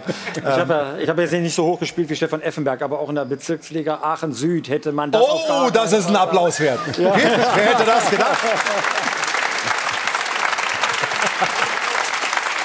Aber äh, auch da wäre das Gleiche passiert, was Schiedsrichter Dingert gestern gemacht hätte. Er hätte es laufen lassen. Ich glaube, hier ist eine, eine für diesen wichtigen Szenen, wenn man den Spielverlauf sieht, ohne technischen Einsatz von Videomaterial, Mhm. hätte man das nicht gepfiffen. Erst wenn man die Aufnahme in der Zeitlupe sieht. Eigentlich die Zeitlupe ist es, ne? Die Zeitlupe ist es, wo es eine andere Dramatik kriegt. Und ich glaube, dann ist es regeltechnisch auch völlig korrekt, dass dann faul gepfiffen wird. aber, als Fußballer lässt man so etwas laufen. Aber in der das ist- Bundesliga, Champions League genauso wie in Aber der das ist Bezirksliga Aachen. Süd. Das ist ein Männersport. Wir haben uns früher immer gefreut. Wir haben uns immer gefreut, Nicht wenn wir gesagt Frauen. haben, endlich spielen wir international, da können wir mal richtig schön hinlangen. So, jetzt ist es aber das so. Ja, da haben wir uns drauf gefreut. Ja, der Jetzt wird Unterschied- wegen so ein Zupfer was. Hallo, ganz kurz. Wofür? Das ist ein Männersport, kostet eigentlich fast 6 Euro. Aber drei, wir sind mit drei äh, jetzt dabei. Komm. Aber wir müssen da. Eine Kleinigkeit noch. Ja, warte kurz, Manu, ähm, weil, weil ähm, Lutz Wagner darum gebeten hatte, wir sollen es erstmal in der, in der Runde so ein bisschen besprechen, aber ich möchte natürlich schon. Hast Ein du noch- Halbsatz, ein Halbsatz. Bin, aber Weil- der muss richtig gut werden. Ja, weil die Frauen, die fallen nicht so oft wie die Männer hin. Nee, stimmt. Ja, genau. Deshalb, also stimmt. Fußball Drei ist kein Männersport. Der war wichtig. Ja, hast du recht. Jetzt aber ähm, zu Lutz Wagner. Also, hier ist das Gefühl so, ich würde mal sagen, Ich will, ich jetzt, will noch, einen Satz dazu. Ähm, es, stört mich, ja, es stört mich schon ein bisschen, dass wir jetzt eine Szene gegen Bayern München jetzt rausnehmen, weil jetzt nicht, dass wir irgendwie wieder auf diese Bayern-Lobby, Bayern-Bonus wegen dieser Szene anfangen. Nein, das machen wir auch nicht. Es waren Spiele die ganze Zeit. Die, wie viele haben wir jetzt? Fünf, sechs Spiele. Sechs, ja. in, den, in den fünf, sag ich mal, oder gestern auch, war ja überhaupt nicht zu sehen, dass irgendwie Bayern ähm, bevorteilt wird oder so. Deswegen jetzt die eine Szene jetzt hier rauszunehmen und darüber zu sprechen, eine Stunde lang, ist mir zu viel ein bisschen. Deswegen habe ich vorhin gesagt, okay, ein Ding. Deine Uhr geht vor. das war keine Stunde bisher. Äh, Aber, ganz ehrlich, ganz nein, ehrlich. Nein, Hassan, du hast ja völlig zu recht. Nur- Nur wir, wir sprechen nicht jetzt hier darüber, um die Bayern-Lobby zu belegen, Ja, sondern aber nicht, dass die Schiedsrichter jetzt wieder denken, oh, jetzt haben wir äh, Nein, für nein, nein. Bayern. Wir kommen auch gleich Haben noch, wir nicht. Wir kommen auch noch Ganz gleich. klar. Alles äh, verstanden. Wir kommen gleich auch noch zu zwei anderen Szenen, aber ich möchte trotzdem jetzt Lutz Wagner äh, noch mal zur Einschätzung geben. Äh, unabhängig davon, dass das jetzt das Spiel Bayern gegen VfB war, völlig wurscht, welche Mannschaften reicht aus Schiedsrichtersicht so ein Zupferchen, um dann ein Tor abzuerkennen. Also, rein regeltechnisch reicht dies ja. Warum? Es ist ein plakatives Halten. Wir sehen auch, das Trikot zieht sich etwas. Der Kollege Gottschalk hat das wunderbar eben geschildert. Das ist die Grundlage und es ist, äh, Stefan hat recht, es ist so, dass im Strafraum oftmals gehalten wird. Aber hier wird auf freier Bildfläche gehalten. Eigentlich hätten wir uns gewünscht, dass der Schiedsrichter es sofort selbst erkennt, dass es da gar keinen Videoschiedsrichter oder Videoassistenteneinsatz gibt. Hat er leider nicht. Nachher hat man es eben gesehen, es ist ein kurzes Halten. Ich verstehe aber auch, ich verstehe aber auch alle, die sagen, Herrgott, nochmal, hätte er nicht weiterspielen können. Zum einen glaube ich, dass der Spieler Fürich nicht an den Ball gekommen wäre ohne das Halten. Allerdings kann man durchaus auch dies unter dem Aspekt Ursache, Wirkung durchaus auch laufen lassen. Also das ist mit Sicherheit kein zwingender Pfiff, aber wenn er ihn bringt, ist er regeltechnisch auf keinen Fall falsch, weil die Grundlage, das plakative Ziehen am Trikot ist nun mal da. Das können wir nicht wegdiskutieren. So, je mehr ich die Zeitlupe sehe, desto überzeugter bin ich, dass das faul war. Okay.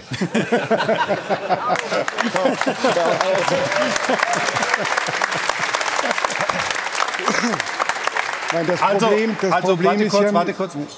Also gut, dass wir eine Stunde drüber gesprochen haben. Aber wir wollen noch zwei weitere Szenen zeigen, ähm, wenn wir Lutz Wagner da haben, ähm, die nichts mit den Bayern zu tun haben. Zwei Handspielsituationen von diesem Spieltag. Die eine am Freitag bei Bremen-Augsburg. Ähm, Schiedsrichter Martin Petersen gibt elf Meter. Wir gucken uns das nochmal an. Ja, da ist ganz leicht die Hand dran. Ähm, und dann kommen wir gleich zur nächsten Szene. Die war dann gestern bei Berlin-Leverkusen. Benjamin Brandt hat das Spiel geleitet. Und da sehen wir dann diese Szene. Und dort gibt es dann, obwohl der Ball auch an der Hand war, keinen Elfmeter.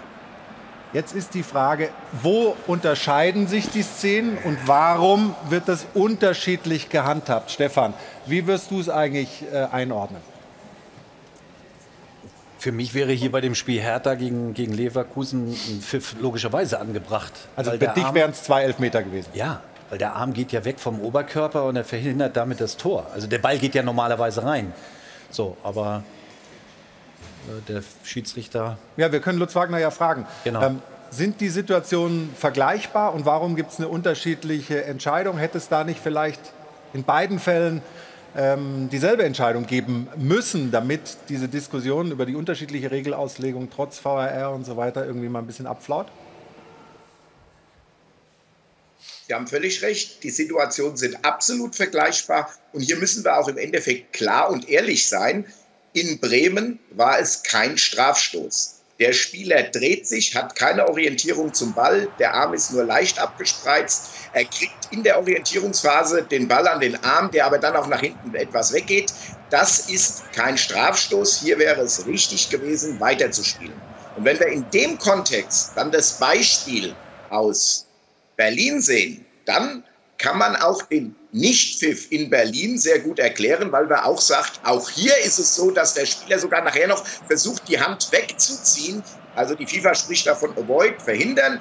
Das wäre dann auch kein Pfiff gewesen. Ich glaube, dann wird die ganze Sache auch rund und auch erklärbar. Und eins ist aus meiner Sicht auch hier ganz wichtig. Wenn Strafstoß, dann auf jeden Fall eher in Berlin wie in Bremen. Und wichtig ist eben, dass wir das Beispiel in Bremen als falsches Beispiel auch deklarieren. Und dann ist der Nichtpfiff in Berlin auch erklärbar. Und lassen Sie mich noch zwei Sätze sagen. Letzte Woche hatten wir ein Spiel äh, Frankfurt-Leipzig. Da war eine ähnliche Szene mit Willi Orban. Da wurde zu Recht von Felix Brüch auch kein Strafstoß gegeben.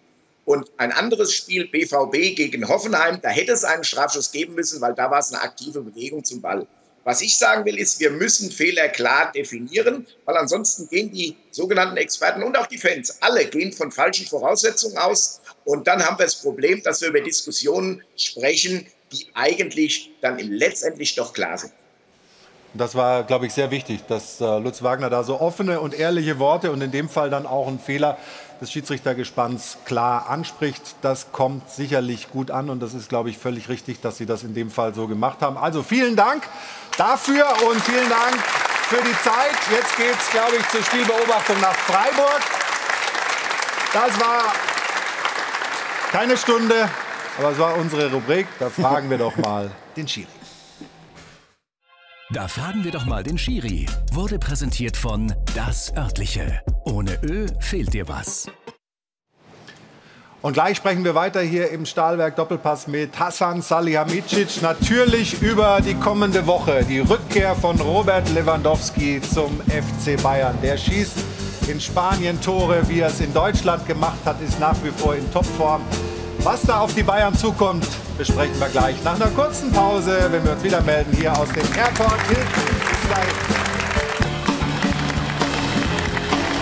Willkommen zurück beim Stahlwerk Doppelpass.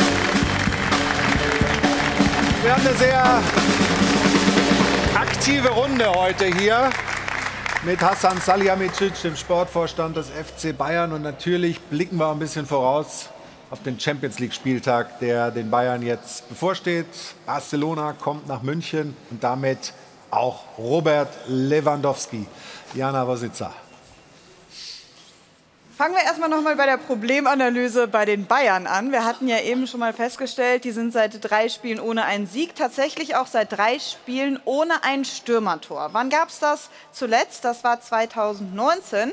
Und was war da? Ja, Robert Lewandowski hat in drei Spielen damals nicht getroffen. Das suggeriert dann doch eine gewisse Abhängigkeit und Sie vermuten jetzt wahrscheinlich schon, worauf ich hinaus möchte. Stichwort Lewandowski. In Barcelona läuft es für ihn recht gut. Sechs Spiele, neun Tore stehen da zu Buche. Gestern erst gegen Cadiz der nächste Doppelpack. Einzig und allein im ersten Ligaspiel hat er nicht getroffen. Das verbuchen wir mal noch als leichte Anlaufschwierigkeiten. Auch in der Champions League läuft es für ihn richtig gut. Im ersten Spiel gab es gleich ein Dreierpack. Der war zudem auch noch historisch, denn er war der erste Spieler, dem ein Dreierpack für drei verschiedene Vereine in der Königsklasse gelang. Bayern, BVB und jetzt eben der FC Barcelona. Ja, und apropos Champions League, Flo hat es gerade angesprochen, am Dienstag dann die große Rückkehr in die Allianz Arena. Der FC Bayern trifft im zweiten Gruppenspiel auf den FC Barcelona und deswegen natürlich in Anbetracht dieser Zahlen an Hassan Salihamidzic die Frage, wird einem da so ein bisschen Angst und Bange, wenn man daran denkt?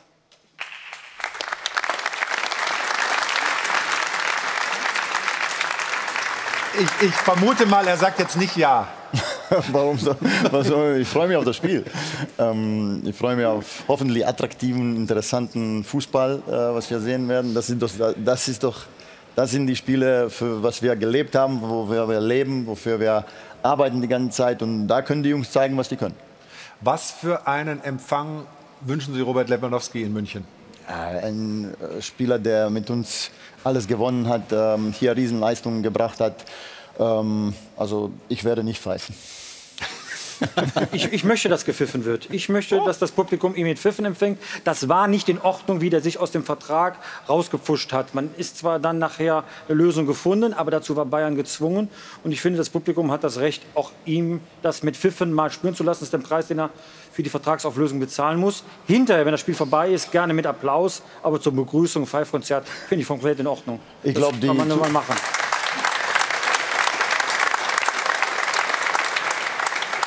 Ich glaube, die Fans haben da ein gewisses Gespür, ein Gefühl dafür und äh, ich brauche darüber gar oder wir brauchen gar nicht darüber reden. Ich glaube, dass äh, die Fans werden das richtig einschätzen und, und das machen, was, Was der deren. Gefühl gibt. Am Ende, am Ende sollte man doch die schönen Zeiten in Erinnerung haben, weil Robert Lewandowski hat grandios für den FC Bayern gespielt. Auch deshalb hat es diese vielen Erfolge gegeben. So ja, der Abschied war nicht schön. Trotz alledem sollte man nach vorne schauen und sagen, okay, danke für diese Zeit, Robert, und ähm, Glückwunsch, dass du jetzt beim FC Barcelona bald in der Europa League spielst. So. Ich, ich warte ein bisschen, bis bei mir der Groschen fällt und auch im Publikum. Das musst du mal posten auf Twitch oder heißt. Streamen, äh, Streamen. FS streamen, nicht posten. Ah, okay. Gut. Wie schwer wird das gegen Barcelona? Mit Natürlich wird Robert? das schwer. Ja, das ist eine große Herausforderung, aber auch ein geiler Fußballabend. Ja. Ich bin ja auch im Stadion, freue mich natürlich auch schon drauf, auch über die Rückkehr. Ähm, das sind die Abende, wofür man natürlich lebt äh, als Fußballer. Ähm, aber ich sag mal so: Die Chancen, die Bayern München zugelassen hat in den vergangenen Spielen, die wird Barcelona eiskalt ausnutzen. In Person von Lewandowski. Also die, das musst du natürlich äh, einstellen, diese, diese äh, Fehlerquote. Aber ja, ich freue mich einfach auf den Abend. Was war die Frage? wieder schwer. Habe ich auch schon wieder Wieder vergessen. schwer. äh, Wie, wie, großen- wie, wie muss man gegen Robert Lewandowski arbeiten, damit der eben nicht wieder einen Dreierpack oder einen Doppelpack oder überhaupt ein Tor schießt in München? Ja, den, den kennen wir ganz gut. Also den, die Jungs werden das, wissen, wie die gegen äh, ihn spielen. Äh, Der Trainer wird sie natürlich darauf einstellen. Und äh, äh, da ist aber nicht alleine Lewandowski, da sind wirklich gute Fußballer ähm, drin. Die haben wirklich eine gute Mannschaft äh, zusammengestellt. Und äh, wie gesagt, wir haben keine Angst, überhaupt nicht. aber Respekt haben wir vor jedem Gegner. Und, ähm, aber wir spielen zu Hause. Wir wollen das Spiel gewinnen.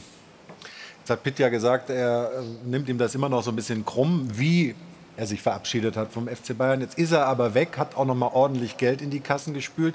Wenn wir jetzt mal die sportliche ähm, Fähigkeiten von, von Lewandowski ein bisschen zur Seite tun, äh, war das für den Umbruch, der beim FC Bayern ja sowieso stattfinden musste, der jetzt äh, vollzogen wurde, vielleicht dann doch ganz gut, dass er gegangen ist? Am- Ich muss ja noch mal dazu sagen, am Ende haben wir entschieden, dass wir den verkaufen. Das ist ja klar. Also, äh, wenn wir, hätten wir nicht Ersatz gehabt, hätten wir nicht. Man äh, hätte beim Basta bleiben können, theoretisch, ja, und sagen, Hätten- bleibst noch ein wären- Jahr.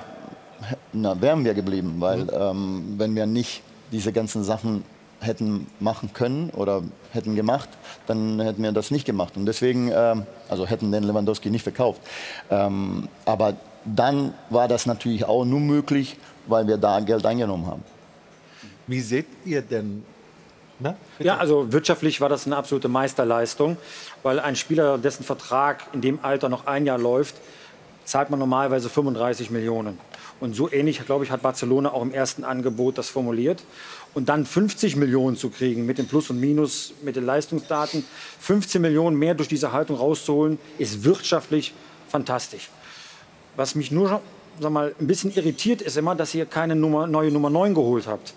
Jemanden, der dafür da ist, in entscheidenden Situationen den Ball doch noch mal über die Linie zu drücken, weil mit ihm sind natürlich 40, 50 Saisontore gegangen.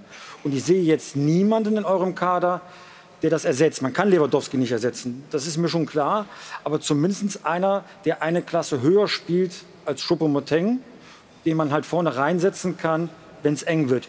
Sonst ist das ja ein fantastischer Kader. Aber an der Position fehlt mir einer. Warum habt ihr da nicht da noch mal genauer geguckt? Da muss es doch einen auf dem europäischen Markt geben, der euch, der euch da zufriedenstellt. Naja, haben Vertrauen zu den Jungs, die, die da sind. Äh, Serge ist da, äh, der hat es gestern eben nicht geschafft, aber, oder nicht, äh, der hat kein Tor gemacht, aber ähm, er ist normalerweise auch ein Killer.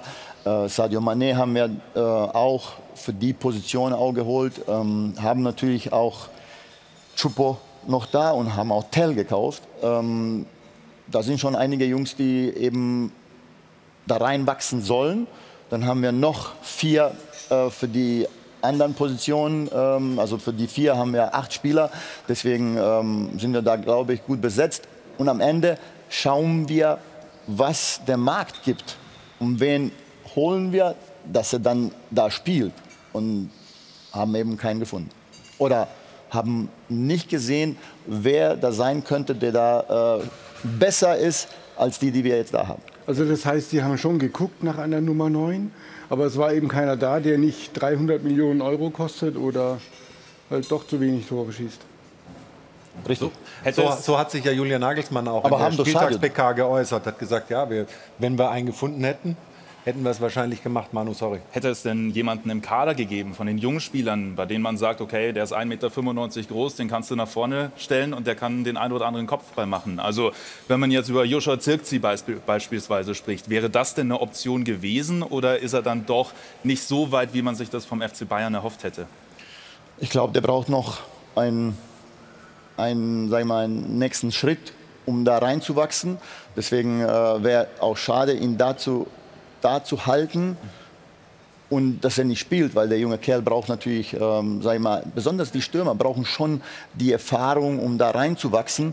Und ich glaube, dass er jetzt, dass wir, dass er jetzt den richtigen Schritt gemacht hat. Aber das haben wir auch gemacht so, dass wir ihn immer wieder zurück, zurückkaufen können. Und ähm, das war ja auch unsere Idee. Ist denn der junge Tell, der gestern der jüngste Bayern-Torschütze aller Zeiten äh, wurde, ist das einer, der potenziell, ähm, ich meine, er ist noch 17 Jahre alt und äh, ein paar Monate, ähm, der sich zu so einer Nummer 9 entwickeln kann, die wir jetzt vielleicht so ein bisschen vermissen? Ist natürlich 17, Ja, aber er hat, er hat Qualitäten, die nicht viele, glaube ich, auf der Welt haben, in sein, also was Potenzial betrifft, was, äh, sag mal, diese, diesen Riecher hat. Er hat einen Schuss, was er, sag mal, dass er im Gefühl hat. Und ähm, ich glaube schon, dass er ein großer werden kann. Aber ist er besser als Mokoko? Ist er besser als Mokoko in Dortmund? Er ist, glaube ich, besser, also das ist der beste Talent, meiner Meinung nach, ähm, in Europa in, auf dieser Position. Stefan, was ist denn deine Einschätzung zur Bayern-Offensive ohne klassische Neun? Reicht das? Ist die unbestrittene Qualität, von der ich Hasan muss auch noch, noch, ganz kurz dazu ja. sagen, äh, natürlich alles mit dem Trainer auch abgesprochen. Das ist auch ein wenig sein Stil, Hm? ähm, so zu spielen. Natürlich, wenn Lewandowski weggeht, haben wir ja gesagt, da sind 40, 50 äh, Scorerpunkte oder 40 Tore, die er fast pro Jahr gemacht hat. Aber deswegen haben wir ja diese Flexibilität, diese ähm, vorne und mehrere Spieler, ähm, die da reinwachsen können oder die diese Scorerpunkte dann machen. Auf mehrere Schultern verteilen. Genau, Stefan, genau. Und du darfst ja auch. funktioniert das? Kann das Ja, funktionieren? aber du kannst ja niemand mit, mit Lewandowski vergleichen. Also mir fallen jetzt mal spontan zwei ein auf dem Weltmarkt. Das ist Benzema, den bekommst du nicht, und Harry Kane bekommst du auch nicht. Ähm, und die Qualität, die Bayern München da vorne hat, die ist ja extrem hoch und außergewöhnlich. Ich würde mir ja viel mehr Sorgen machen, würden sie die Torchancen nicht kreieren. Ja, nehmen wir alle Spiele, nehmen wir Union, nehmen wir vor allen Dingen Gladbach, nehmen wir auch gestern Stuttgart. Sie hatten ja die Möglichkeit, immer zu erhöhen. So, das haben sie halt nicht geschafft. Ähm, aber das liegt ja jetzt nicht daran, äh, ja, wir haben jetzt Lewandowski nicht mehr. Das ist Geschichte, das ist Vergangenheit. Die Jungs, die jetzt da vorne äh, spielen, ob es Müller ist, ob es ein Gnabry ist, Mane, ein Sane, äh, egal, Tell als, als talentierter Spieler, die haben doch auch alle ein Riesenpotenzial und auch die Möglichkeit, auf 15, 20 plus Tore zu kommen. Was erwartest du von Sadio Mané? Das fing ja wahnsinnig gut an. Wir haben ihn ja schon mit, mit äh, dieser Flüstertüte, äh, Megafon äh, in, in den Fans Ja, ist- gesehen. natürlich äh, ist jetzt das ist ein- es ein bisschen, bisschen weniger. Ja, aber gerade. dann hast du mal so eine Phase, wo es vielleicht nicht so läuft und wo die Bälle, ich meine, der hat ja auch plus zwei oder drei Abseitstore geschossen, die sie ihn zurückgenommen haben. Also ähm, das ist schon ein Spieler, glaube ich, auch mit dem eigenen Anspruch, auf 20 oder 25 Tore zu kommen beim FC Bayern. Das wird er auch schaffen. Jetzt ist er in so einer Phase, wo es vielleicht nicht so, wie soll man sagen, so leicht läuft wie am Anfang. Aber trotzdem ist es ein äh, außergewöhnlicher Spieler. Also Was bringt er denn so rein in die Mannschaft? Auch von seiner Erfahrung, von seiner Persönlichkeit. Ich habe das Gefühl, er ist ein außergewöhnlicher Mensch auch. Ne? Ist er auch, wirklich guter Typ, ähm, Riesenmentalität, gut, richtig guter Spieler. Also hat auch natürlich große fußballerische Qualität. Okay, jetzt hat er, äh, sagen wir mal, zwei Spiele vielleicht nicht so, äh, wie er sie vor, äh, nicht so gespielt, wie, wie wir uns das vorstellen oder wie er sich äh, vor, vorstellt. Ich glaube, er ist der größte Kritiker von sich selbst. Zu Das- selbstkritisch fast? Ja, genau. Und ähm, da muss er weg und das wird er, glaube ich, in den nächsten Spielen wieder machen. Uli Hoeneß hat dich ja geadelt, hat gesagt, wenn, der, wenn Hassan das schafft, den Sadio Mané zu holen, dann, dann darf er den blind äh, verpflichten. War das schwierig, den zu überzeugen, Liverpool zu verlassen und zum FC Bayern zu kommen? Ja, wir haben es eben versucht. Ähm, Habe ja schon mal, glaube ich, hier erzählt, ähm, als ich das äh, erfahren habe in dem einen Termin. Ähm, dann bin ich am übernächsten Tag gleich nach, ähm, nach Liverpool geflogen. Am Trainer Marco war dabei, Marco Neppe, und ähm, haben versucht, eben ihm unser Projekt, unsere Mannschaft zu erklären, unseren Club. Und das hat ganz gut geklappt, weil er gleich, also er wollte auch, muss man einfach sagen, er wollte Liverpool verlassen, er wollte ähm, äh, da nicht verlängern. Und da hat er sich auch richtig gut verhalten in den, in den letzten sagen wir eineinhalb Jahren. Und dann haben wir natürlich auch so ein Projekt gehabt, was ihm gefallen hat. Und deswegen ähm, hat er sich für uns entschieden. Wie nimmst du selbst denn diesen ja, Imagewandel, würde ich jetzt gar nicht sagen, aber so die, die öffentliche Wahrnehmung deiner Person, deines Wirkens äh, wahr? Weil das war ja Oliver Trust hat es vorhin gesagt, viel Kritik immer, auch nicht immer gerechtfertigt, gar keine Frage. Zuletzt nur noch Lob. Ist dir das, äh, bist du da ein bisschen skeptisch? Ist das unheimlich? Unheimlich gut. Ähm, ich glaube, ich habe das nicht so rangelassen an mich, als es ähm, sag ich mal, so eine Kritik gab, die nicht sachlich war. Ähm, genau so habe ich viel zu tun, auch jetzt. Natürlich nehme ich das wahr, freue ich mich auch, natürlich, muss ich auch ganz klar sagen, aber freue mich, freue mich eher, sage ich mal, für uns alle, für das Team, für den Club, dass wir schon dieses Bild des Bayern München gedreht haben, dass wir äh, in der Öffentlichkeit. Ähm, deswegen freue ich mich sehr. Aber jetzt sind wir wieder einen Schritt weiter und ähm, jetzt haben wir viel mehr zu tun, ähm, sage ich mal, Spiele zu gewinnen, jetzt in die Saison äh, uns einzuarbeiten und ähm, so ein bisschen ähm, diesen Transfermarktperiode Lob. Jetzt kann es auch, sage ich mal, zur Seite geschoben Ich werden meine, und wir Sie- müssen uns Sie, auf, Sie auf Fußball stecken ja konzentrieren. mitten in diesem ähm, äh, Prozess in eine neue, in eine neue Richtung. Ähm, man kann ja im Grunde vor allen Dingen in diesem Jahr noch gar nicht sagen, ob die ganze Nummer funktioniert, so wie Sie es jetzt ange, angestoßen haben. ne? Wir haben eine WM. äh, Du hast im Grunde fast zwei Saisons, die du äh, hast in einer und weißt gar nicht, was nächstes Jahr ist. Und äh, ich glaube, der FC Bayern hat ja vor allen Dingen ein Ziel und das ist ähm, international weit zu kommen und das Finale in der Champions League zu erreichen. Das heißt, es ist ja, um jetzt ein abschließendes Urteil zu bilden über das, was über seine Transferperiode, ist ja äh, schwierig. Man muss, ja, vor, ja, man muss ein bisschen vorschauen. Also viel wichtiger waren ja, oder was heißt viel wichtiger, aber genauso wichtig waren ja die Verlängerungen. Also mit Neuer, mit Müller, mit Gnabry, mit Goretzka. Also diese Verlängerung, die Jungs zu halten, wo die Verträge ja auch ausgelaufen wären. Ich glaube, das war auch eine große Sache für den FC Bayern und auch für, für den Hassan und die, die er dann dazugeholt hat. Ich glaube, es kann im Endeffekt nur Lob geben. Jetzt liegt es an den Jungs, das auch zu zeigen auf dem Platz. Darum geht es. Wir können ja mal die Transferbilanz des FC Bayern uns anschauen. Das ist nämlich ganz interessant. Da sind ja nicht nur Spieler geholt worden, sondern sind eine ganze Menge Spieler auch verkauft worden. Und wenn wir da ein Saldo ziehen, dann sind das eigentlich 33 Millionen ungefähr, sind natürlich geschätzte Zahlen. Wir haben nicht die offiziellen Zahlen vom FC Bayern, die wollte uns Herr Hassan jetzt nicht geben. Nein, Quatsch, ist ja normal, aber das sind. das Aber die kommen doch hin, oder? Das, geht, Zahlen, das, oder? geht, schon, das geht schon relativ äh, genau in die Richtung. Also, das ist ja, Pitt, das muss man auch sagen, ist auch eine Leistung, Leute eben auch teilweise mit Gewinn zu verkaufen, die sich beim FC Bayern nicht durchgesetzt haben. Absolut. Dafür wird Hassan Salihamidzic übrigens bezahlt und äh, dafür ist er auch befördert worden. Also insofern ist es sein ein Job. Aber ich möchte die Heiligsprechung mal ganz kurz unterbrechen, weil ich natürlich auch ein bisschen nach vorne schaue. Ist mit der Verpflichtung von Sadio Mané jetzt, sag mal, die Konstrukt in der, in der Angriffsformation abgeschlossen oder suchst du weiterhin eine Nummer 9? Wie funktioniert das jetzt, wenn du einen guten Kader gemacht hast? Du musst ja schon weiterdenken. Du musst ja an das nächste Transferfenster ja schon wieder denken. Geld Ja. ist ja offenbar da bei den Verkäufen.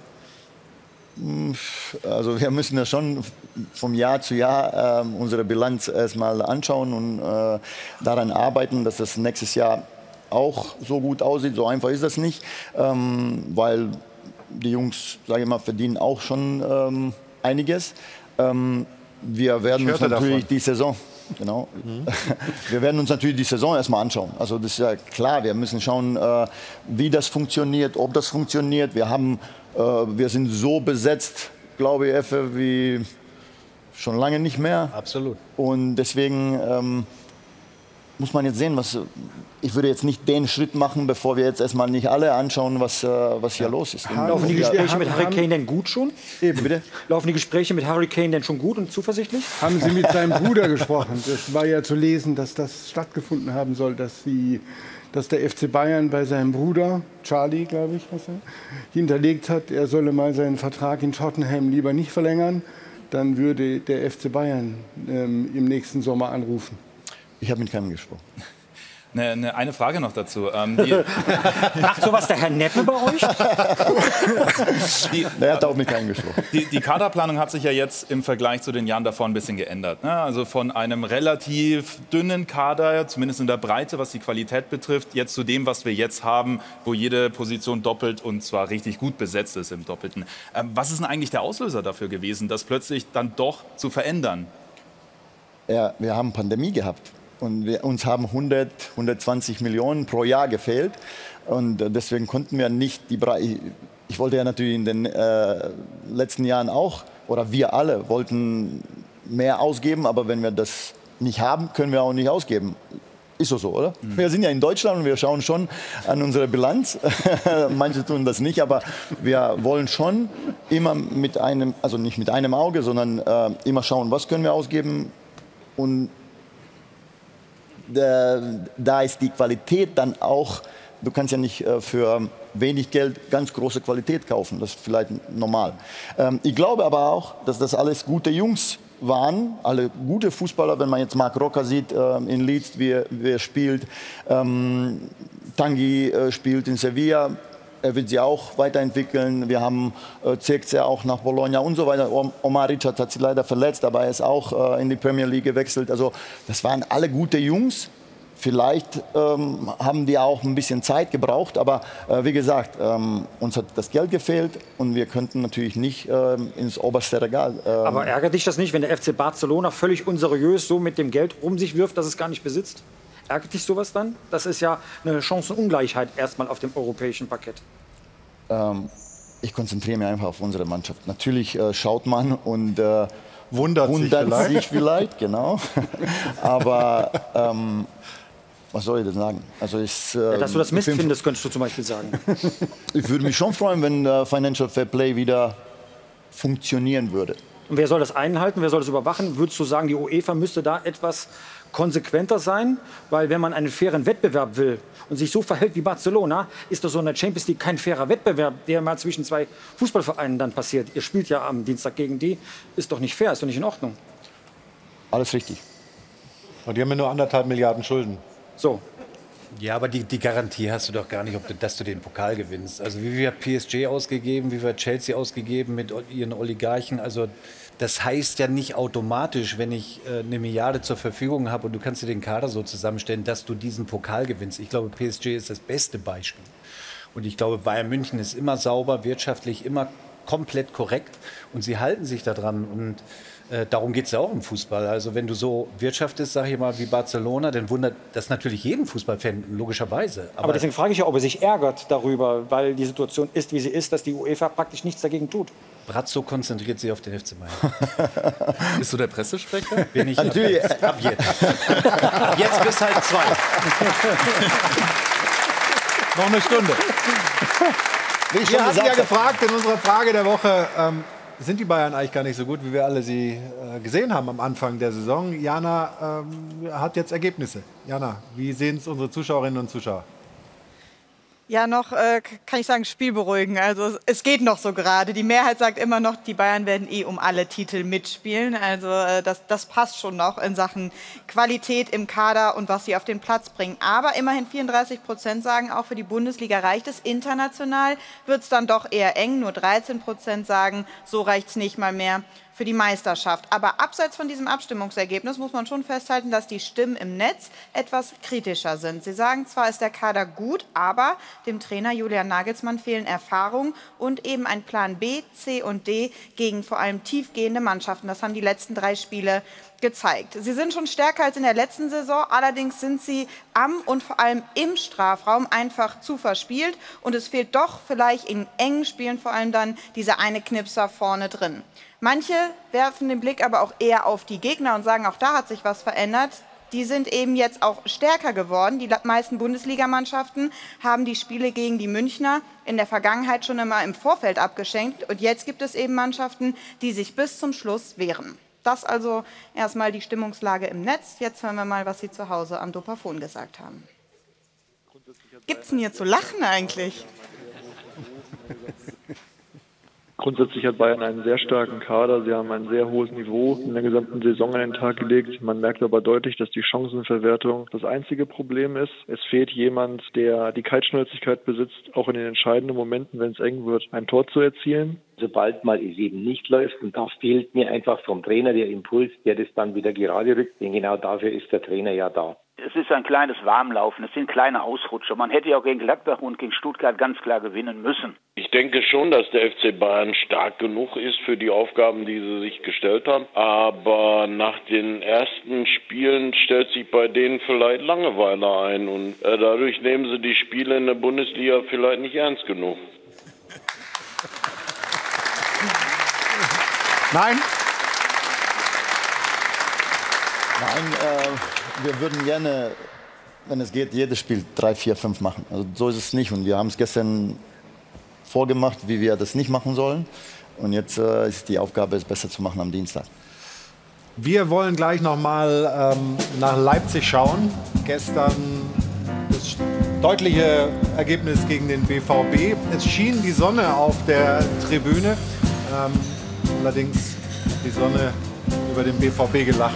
Äh, oder wie auch immer. Also Aki Watzke hat die Augen geschont, aber im Endeffekt war es dann doch nicht ein Spiel, das ihn großartig erfreut hat. Eine Info noch aus Bochum. Mannschaft hat sich getroffen ohne den Trainer, gibt aber noch nichts Neues. Ähm, leichtes Training, leichtes Auslaufen. Wir werden nachher nochmal zu Patrick Berger schalten, um uns den neuesten Stand zu holen. Vom Tabellenletzten mit null Punkten immer noch der VfL Bochum. Also, unsere Themen nach der Pause. RB Leipzig gegen den BVB und dazu haben wir Nationalspieler David Raum dann in einer Schalte bei uns hier im Stahlwerk. Doppelpass. Bis gleich. Zurück beim Stahlwerk Doppelpass im Airport Hilton in München. Wir haben hier brav auf unseren Plätzen gewartet, bis es weitergeht. Schön, dass Sie weiter dabei sind bei unserer Runde. Hassan Salihamidzic ist unser Gast heute. Ich habe gesagt, wir kommen gleich zum Thema Leipzig ähm, mit dem neuen Trainer, mit Marco Rose, der in seinen Ex-Verein gleich einen überzeugenden Sieg gelandet hat mit RB. Ein Satz noch äh, zu Hassan Salihamidzic. Ähm, in dieser Saison nicht mehr unten auf der Bank, sondern oben auf der Tribüne. Warum? Ja, ich glaube, dass das äh, für uns alle eine neue Perspektive äh, gibt. Äh, für mich die Möglichkeit auch von oben das Spiel zu sehen, auch äh, anders zu analysieren, auch vielleicht eine gewisse Distanz auch. Äh Aber in der Pause dann in die Kabine? Ja, gehe ich. Ja, das ist ganz gelöst noch nicht, ja? Nein, ich will auch nicht und werde auch nicht die Nähe zur Mannschaft verlieren, aber vielleicht einen anderen äh, Blickwinkel äh, für uns alle gewinnen. Gestern war es ganz interessant. Äh, Sven Mislintat vom VfB Stuttgart macht es offensichtlich ganz anders. Ähm, wir sehen ihn da ähm, an der Außenlinie teilweise auch reinrufen. Äh, natürlich freut er sich mit dem Trainer, mit Pellegrino Matarazzo, aber er ist äh, unten auf der Bank sehr aktiv, ähm, feuert die Mannschaft an, ist da dabei. Ist das einfach ein anderer Weg, Stefan? Was, was hältst du davon? Nein, also wenn er die Mannschaft anfeuert, dann ist ja alles okay, weil Emotionen gehören ja auch dazu. Allerdings ich, hätte ich ein Problem damit, wenn er Anweisungen gibt. Damit beschneidest du ja dann im Endeffekt deinen eigenen Trainer. Also damit hätte ich ein Problem. Er, er interpretiert das ein bisschen anders. Also es ist schon so, manchmal so kann man es diplomatisch ausdrücken. Er dann, interpretiert dann lass mal das die anders. Diplomatie Nein, zur er hat ja eine ganz andere Rolle in Stuttgart. Er ist ja im Grunde der Mann, der einzige Mann, äh, der darf die, die Transfers entscheidet, äh, der äh, neue Spieler holt und ähm, äh, das Verhältnis zum Trainer hat sich schon gewandelt. Die beiden, da gibt es jetzt wesentlich mehr Spannungen, als es vorher der Fall war. Da kam ein junger Trainer, der, dessen erste Station war das in der Bundesliga.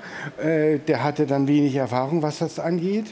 Äh, mittlerweile hat er sich ein bisschen emanzipiert und der Sven Mislintat ist schon jemand, der schon sehr starken Einfluss nimmt ähm, auf die Mannschaft und äh, auf den gesamten Verein. Also er hat ja im Grunde äh, ein Alleinstellungsmerkmal ist, dass er einen Vertrag hat, den es in der Bundesliga so, glaube ich, nie, noch nie gegeben hat, dass er im Grunde einseitig sagen kann, er, wenn ihm irgendwas nicht passt, er geht und er kriegt Geld bis äh, Vertragsende. Er ist, Das steht in seinem Vertrag. ja, das, war, das ist unwidersprochen äh, ähm, so berichtet worden und das sagen auch äh, viele Leute. Und ähm, er ist schon jemand, der, ähm, ja, der auch das Gesicht äh, dieses Vereins geändert hat. Er, er hat eigentlich so einen, einen Import-Export-Verein aus einem Club gemacht, der mal für das größte Talenteaufkommen über die Jahre bekannt war. A-Jugend, Rekordmeister in der B-Jugend, ähnliche Dinge.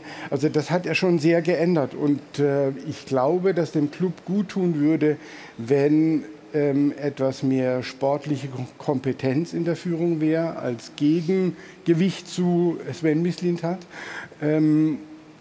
Ja, und dass man einfach einen Sportdirektor oder Sportvorstand von außen holt. Er hat es ja immer abgelehnt, Mhm. Sportvorstand zu werden. Das heißt, so richtig in die Verantwortung zu gehen. Und er ist ja im Grunde so ein bisschen wie der freie Unternehmer, der äh, noch eine Datenfirma nebenher hat und äh, sehr aktiv ist auf dem internationalen äh, Transfermarkt. Also viele, viele Themen, auch beim VfB Stuttgart. Da ist gerade Mitgliederversammlung, da tut sich sicherlich auch eine Menge. Ganz kurz eins noch, dieser Satz, den er da äh, Richtung äh, Bayern abgelassen hat, führt das dazu, dass du das Telefon nimmst und ihn mal anrufst? Oder? Nee, eigentlich hab, haben wir genug darüber gesprochen, glaube ich. Ich habe auch gesagt, dass es einfach an den Haaren herbeigezogen ist. Es gibt keine Er hat Bayern. ja viele. Genau. Deswegen ähm, hat er vielleicht äh, einen Moment gehabt, wo er nicht gerade den intelligentesten Satz ge gesagt hat. Ich meine, das ist ja nichts Neues, dass er, ähm, dass Sven Mislintat ähm, sehr aktiv ist, wenn es darum geht, Schiedsrichter anzugreifen, äh, mhm. den vierten Offiziellen anzugreifen. Und ich glaube, er muss ein bisschen aufpassen, weil er auf dem Weg ist, äh, den VfB ein bisschen in so eine, in so eine Ecke zu, zu schieben mhm. äh, des Nörglervereins. Und ich glaube, er sollte sich da sehr zurücknehmen. Das war jetzt nur ein Beispiel, diese Geschichte mit diesem Spiel gestern, was natürlich schon äh, Dinge geliefert hat, die sehr markant waren. Aber er hat das auch in vielen Spielen davor gemacht. Und das äh, muss einfach aufhören. Also deine Haltung dazu ist ziemlich klar geworden. Jetzt kommen wir äh, zu Leipzig gegen Dortmund und gucken, Stefan, mal auf äh, das erste Tor.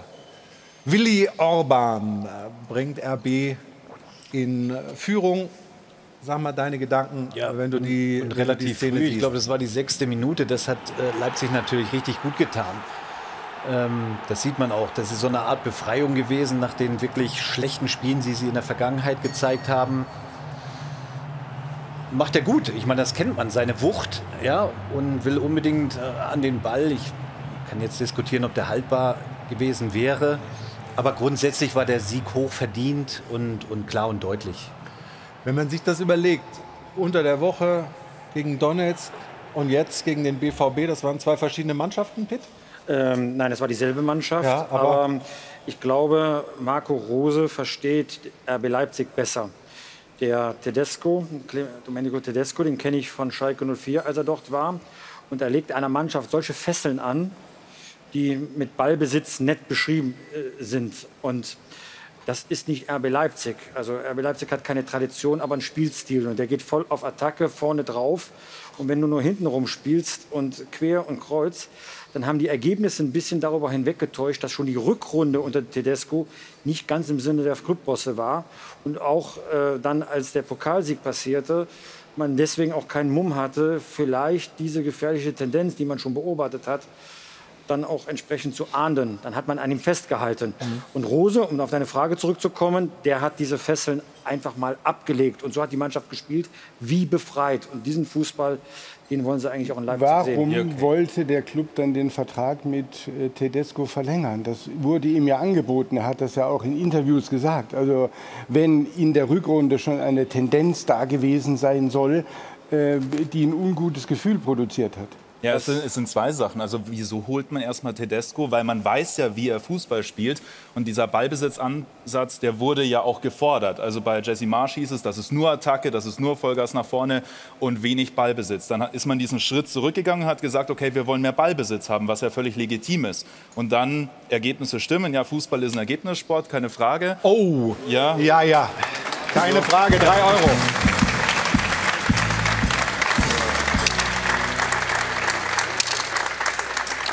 So, aber trotz alledem, worauf ich hinaus will, ähm, warum holt man Tedesco, wenn er nicht den Ansatz hat, den RB Leipzig haben möchte? Und wie du es richtig sagst, wenn man dann Zweifel hat, wieso beendet man es nicht und sagt dann sogar, ja, aber weißt du was, also über deinen Vertrag, über den werden wir noch reden. Also das, das ergibt ja überhaupt keinen Sinn. Man hat es jetzt aber beendet und früher beendet, als man das mit Jesse Marsch gemacht hat. Da hat man fast bis zur Winterpause gewartet.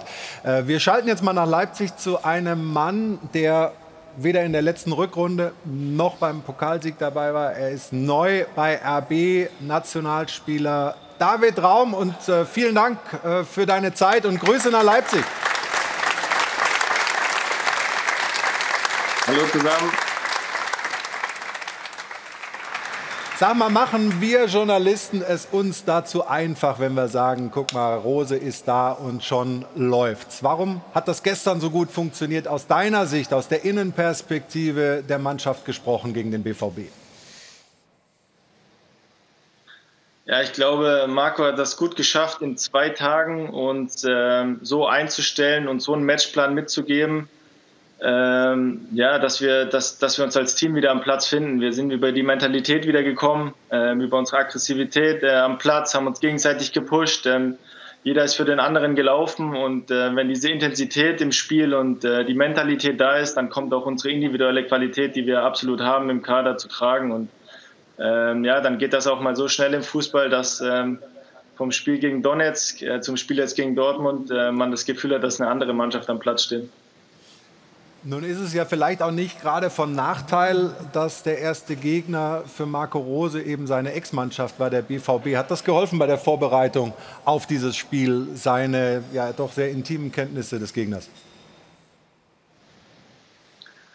Ja gut, ich glaube jetzt Dortmund ist kein unbekannter Gegner. Ich glaube, wir konnten uns alle ein bisschen was vorstellen unter Dortmund. Wir kennen die Jungs, äh, wir kennen die Spieler. Äh, man hat ein paar Mal gegeneinander auch vielleicht schon gespielt. Ich kenne selber ein paar Jungs da drin. Ähm, aber Marco hat uns natürlich auch ein paar Spieler nochmal vorgestellt, ähm, hat, hat mit uns nochmal über ein paar Spieler auch geredet, ähm, wie sie gern spielen, wo vielleicht ihre unangenehmen ähm, Stellen auch im Spiel sind oder ihre Schwächen sind. Und ähm, ja, ich glaube insgesamt ähm, äh, hatten wir dann einfach einen guten Matchplan gegen den Ball, mit dem, mit dem Ball auch. hätten vielleicht sogar noch das eine oder andere mehr Tor, äh, Tor mehr schießen können. Ähm, aber insgesamt sind wir natürlich riesen, äh, riesen froh, dass wir das Spiel gestern gewonnen haben. Ähm, dass es dann 3-0 wird, ist natürlich noch umso schöner, wenn wir zu Null spielen, auch nach den, nach den Gegentoren in der Champions League. Für dich, du warst ja ähm, in der Vergangenheit der Bundesligaspieler mit den meisten Flanken. Musst du dein Spiel auch ein bisschen verändern, um ähm, in diesem RB-System zu funktionieren, richtig zu funktionieren? Ich meine, du warst jetzt immer äh, in der Mannschaft, äh, gar keine Frage, dass das gut passt, aber ähm, das der persönliche Spielansatz sich ein bisschen geändert? Ja gut, äh, zuallererst muss ich natürlich sagen, ähm, dass ich auch erstmal ein bisschen ankommen muss. Ich habe die ganze Vorbereitung hier verpasst. Ähm, ich kam, glaube ich, ein paar Tage vor dem ersten Ligaspiel gegen Stuttgart, kam ich erst zur Mannschaft dazu, durfte dann direkt 90 Minuten ran, ähm, muss mich jetzt selber hier erstmal wieder ein bisschen finden. Ähm, neue Truppe, neues Umfeld. Die Jungs machen es mir aber natürlich einfach äh, und alle hier drumherum fühle mich hier super wohl und ich glaube, ähm, gestern habe ich mich im Spiel so ein bisschen selbst gefunden. Ich komme über meine Mentalität, über meine Physis, konnte damit gestern viel helfen und ähm, ja, dann bin ich gestern auch wieder in, in den einen oder anderen Flankenlauf reingekommen und ich denke, ähm, bald werden die Flanken auch wieder ankommen. Stefan, wie siehst du jetzt RB unter Marco Rose? Ähm, passt das wir haben es ja vorhin gesagt, äh, es gab ja durchaus auch Bedenken, nachdem man Tedescos äh, Fußball gesehen hat äh, auf Schalke und anderswo, ob das funktioniert mit der RB-Identifikation. Passt das jetzt einfach kommt, wieder besser? Der ja, kommt da, aus da dem RB-Kosmos? Genau, das ist schon mal ein ganz entscheidender Punkt. Aber das zu beurteilen, da müssen natürlich ein paar Monate mal ins Land ziehen. Aber grundsätzlich bin ich der Meinung, dass das passt. Ähm, und ich glaube, ganz wichtig war, dass er eben diese Fesseln löst, dass er ihnen wieder ein Stück weit auch Freiheit und Kreativität zurückgibt und nicht den genauen Passweg und Laufweg vorgibt, sondern man sollte auch ein Stück weit dann doch kreativ sein dürfen. Und ich glaube, das hat man gestern gesehen. Was den Leipziger natürlich gestern zugute kam, war das frühe Tor. Ja, das löst denn schon. Und dann sagt man, auch das zweite werden wir auch gleich nochmal sehen. Können wir ruhig jetzt schon der zeigen. so ein bisschen leicht abrutscht. Das Ding wäre halt vor einer Woche wahrscheinlich zur Eckfahne geflogen. Äh, und in dem Spiel geht er halt rein dass sie die Qualität haben, steht ja außer Frage. Und ich bin mir auch sicher, dass Leipzig in der Tabelle wieder nach oben kommt. Eine entscheidende Geschichte wird ja sein, wie die Suche nach dem Sportdirektor ausgeht. Ähm, das hat ja, glaube ich, Marco Rose äh, als einen seiner ersten Sätze gesagt. Äh, wenn Max Eberl kommt, wird das mir und RB Leipzig gut tun. Und das hat er aus gutem Grund gesagt, glaube ich. Ja, das ist sicher ein Thema, aber nicht für David Raum. Das ist, glaube ich, für einen Spieler immer undankbar, sich zu solchen Dingen zu äußern. Deswegen wollen wir ihn auch gar nicht in die Verlegenheit bringen. Wenn ich da das Bild sehe, David, hinter dir steht so, so ein Kicker. Ich meine, du hast ja gerade gesagt, du bist noch nicht lange dabei, aber äh, äh, bist du da genauso gut wie auf dem linken Flügel oder, oder sind da andere besser? Äh, ich muss sagen, ich sitze zum ersten Mal hier in diesem Raum. Also, okay. Ich habe mit dem Kicker hier noch nicht so viel zu tun gehabt.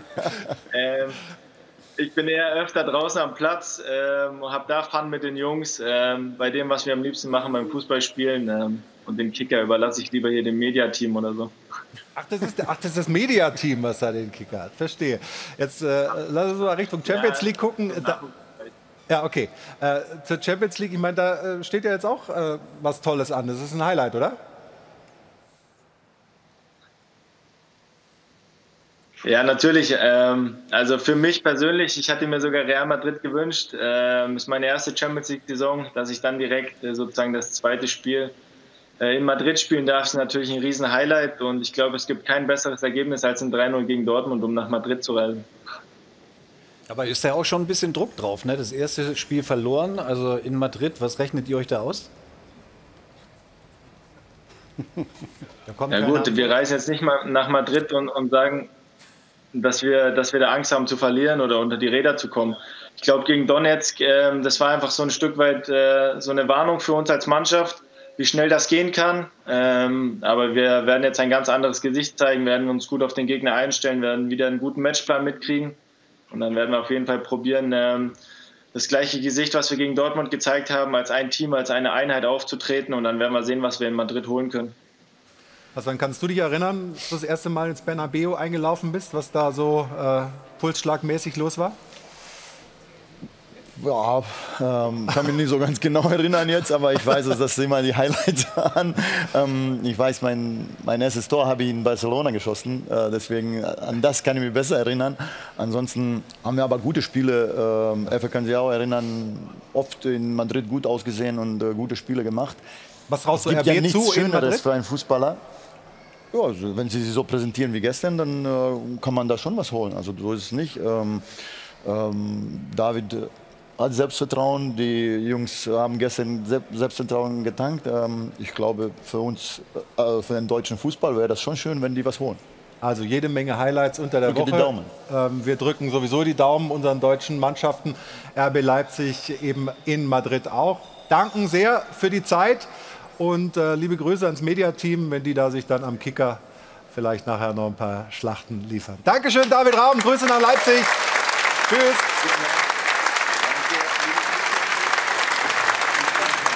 Und wir sprechen hier gleich weiter, haben aber zunächst die Quoten fürs Freiburg-Spiel am heutigen Sonntag und die liefert Anna Dollack. Und dann in anderthalb Minuten gut sind wir hier gleich wieder im Stahlwerk Doppelpass. Anna, bitte. Lieben Dank, Anna Dollack. Und wir bleiben bei RB. Marsch, Tedesco, Rose und das nur in neun Monaten. Ganz schön was los bei RB Leipzig. So schaut's aus.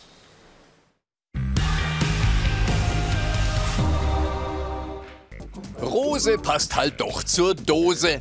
Da kommt zusammen, was zusammen gehört. In der Heimat klappt's einfach am besten. Nach zwei Chaos-Auftritten gegen Frankfurt und Donetsk zeigt RB, dass sie doch noch kicken können, wenn sie mal nicht gegen, sondern für den Trainer spielen.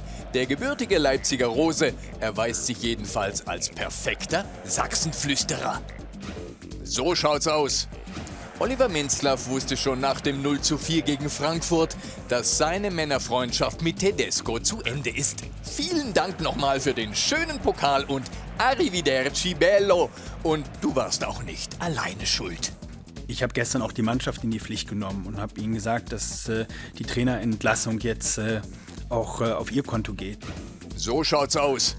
Rose ist schon Minzlaffs dritter Trainer in den letzten neun Monaten. Sein Tempo bei der Verpflichtung eines neuen, genauer gesagt dieses neuen Sportdirektors ist dagegen etwas schleppend.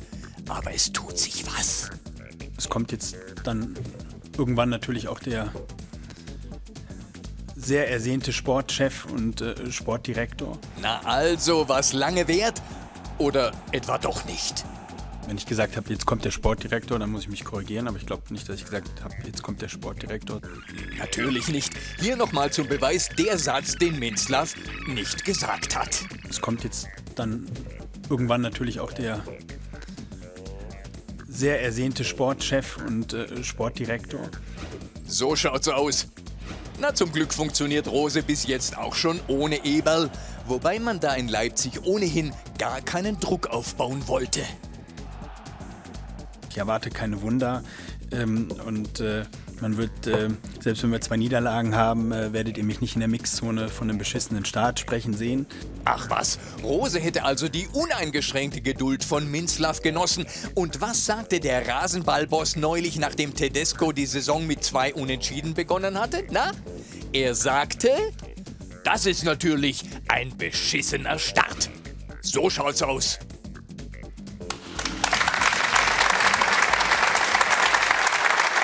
So richtig Klarheit über die Sportdirektorposition haben wir da noch nicht. Also wenn ich dich gleich frage, kommt jetzt Max Eberl als Sportdirektor, dann könnte ich hinterher sagen, ich habe gar nicht gefragt, ob er Sportdirektor wird.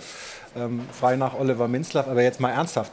Wie lang darf sich das jetzt noch ziehen, nachdem das irgendwie alle doch dauernd besprechen? Das ist ja jetzt auch langsam eine Belastung irgendwann. Ja, sie stehen ja in Verhandlungen, das wissen wir ja. Ähm, allerdings fordert Gladbach nach wie vor eine Ablöse, die jetzt auch nicht gering ist. Und ich glaube, da muss man sich einigen. Dass Max Ebel dem RB Leipzig gut tun würde, das ist ja klar und offensichtlich auch für die öffentliche äh, Arbeit. Und ich glaube, das wäre auch für äh, Minzlaff sehr, sehr gut, wenn er da ein bisschen zur Seite geschoben wird in der Öffentlichkeit. Okay, ich, hab, ich vernehme da zwischen den Zeilen so ein paar Töne, dass du glaubst, es wäre besser. Ja, du brauchst ja auch so ein Bindeglied, was, was sie ja nicht hatten. Ne? Mit Tedesco, wenn du den Trainer hat, hast, mit, mit Minzlaff.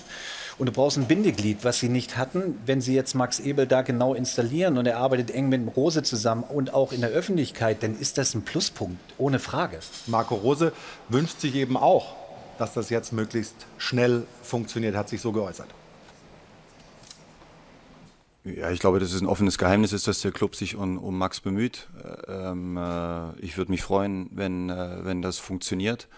Und ich würde mich auch auf eine Zusammenarbeit sehr freuen, ja, weil ich natürlich weiß, wie Max arbeitet, wie Max funktioniert. Und ähm, äh, dort hätte ich ähm, dann sicherlich einen Mann an meiner Seite, der, der mir und uns insgesamt gut tun würde. Und Oliver Minzlaff dann nicht mehr der Alleinherrscher sozusagen wäre. Ja, also was RB braucht, ist sportliche Kompetenz in der Führung. Das ist ja das, was da fehlt. Dafür gibt es zu viele Fehler in den letzten anderthalb Jahren, die da passiert sind. Also bei Jesse March, der hat selbst gesagt, er glaubt, er passt nicht zur Mannschaft. Dann hat man versucht, das ein bisschen in den Herbst zu retten.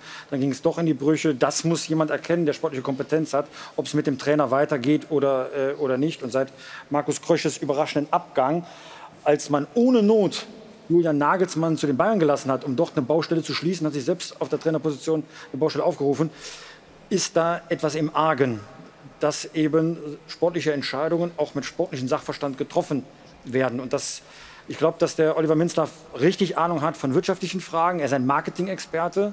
Sport ist aber eine ganz andere Disziplin und das sollte jemand tun, der sich auskennt. Deswegen kann man RB nur gratulieren, wenn Max Ebel kommt. Es wird aber auch höchste Zeit.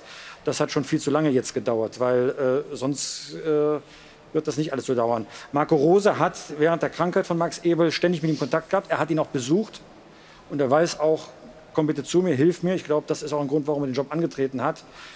Äh, Und ich glaube, dann laufen die Dinge auch wieder geordneter bei RB Leipzig, als das in der Vergangenheit der Fall gewesen ist. Ich meine, Marco Rose hat, glaube ich, schon erkannt, dass das ein zentrales Problem ist, auch dieses Innenverhältnis zwischen Clubführung äh, und Trainer, äh, wo eben niemand dazwischen war.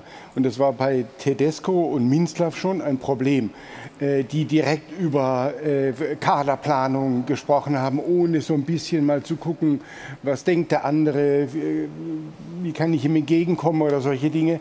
Und das hat dann schon zu, zu größeren Reibungen geführt. Ja, wenn stimmt, was mir Guido Schäfer von der Leipziger Volkszeitung erzählt hat, dass nämlich in Sachen Nagelsmann Markus Krösche, der ihn nicht gehen lassen wollte, überstimmt worden ist von Oliver Minzlaff. Dann äh, hab viel Spaß, Max Ebel, bei RB Leipzig, wenn das in Zukunft auch noch der Fall ist. Weil äh, das darf sich, glaube ich, ein Sportvorstand nicht gefallen lassen, dass sein letztes Wort Nur er ist ja auch gegangen, dann, weil Entscheidung er hat. sich, glaube ich, aufgerieben gefühlt hat in diesem RB-Kosmos. Und äh, Max Eber kommt ja mit ganz anderen Voraussetzungen, mit einem ganz anderen Standing. Also ich glaube, er wird sich da leichter tun und auch in den Verhandlungen mit Sicherheit das abklopfen, wo die Claims und wo die Grenzen sind. Kann es sein, dass du bei Bayern München mal überstimmt wirst als Sportvorstand? Passiert sowas schon mal? In welcher Hinsicht jetzt? Ja, wenn du eine Spielerentscheidung triffst, du bist von einem Spieler überzeugt und alle anderen nicht, kannst du ihn dann durchsetzen oder musst du dann dich dem Aufsichtsrat beugen? Wie läuft das da bei Bayern München? So was passiert bei uns nicht. Wir entscheiden, wir haben einen Prozess, äh, wo sich das natürlich herauskristallisiert und dann äh, schauen wir, was auf dem Markt los ist und dann äh, versuchen wir uns immer zusammen mit dem Trainer abzustimmen. Also ähm, es ist wirklich so, dass nicht einer im März kommt und sagt, ah, den will ich aber jetzt. Sondern wir versuchen durch die Saison jetzt schon an, anfangen ähm, zu scouten, unsere Sitzungen zu haben, ähm, schauen, was los ist am Markt, wer macht das gut, wer macht das schlecht, äh, wer würde vielleicht in Frage kommen, analysieren unsere Mannschaft. Und dann äh, ist das wirklich so, dass sich so eine Entscheidung irgendwann herauskristallisiert. Aber ich gebe euch recht, dass das wichtig ist, dass der Sportvorstand oder überhaupt der, sag mal, der, dass es einen, einer gibt, der, der entscheiden kann. Ja, und dass man dann, auch wenn es kontrovers ist, am Ende gemeinschaftlich eine Entscheidung dann durchzieht und dazu auch steht. Wir machen eine kurze Unterbrechung. Ich will Sie noch darauf hinweisen, dass wir in Kooperation mit Sport 1 und VI Price und Nico Rosberg eine tolle Aktion haben, nämlich zur Unterstützung der Ukraine, bei der Sie etwas gewinnen können. Sie sehen unter anderem hinten eingeblendet, was. Also wir drücken dabei die Daumen und sind gleich zurück hier im Stahlwerk Doppelpass und sprechen dann nochmal über das Freitagsspiel. Da gab es ja auch so ein paar Dinge, die man nicht unbedingt unter Fairplay verbuchen kann. Also dranbleiben. Gleich jetzt weiter hier bei uns aus dem Airport Hilton. Bis dahin und jetzt viel Erfolg beim Gewinnspiel.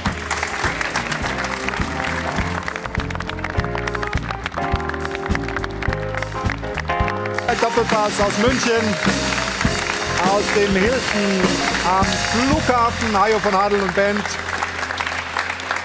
Und wir haben ja am Anfang der Sendung gesagt, ja, VfL Bochum steht unten drin.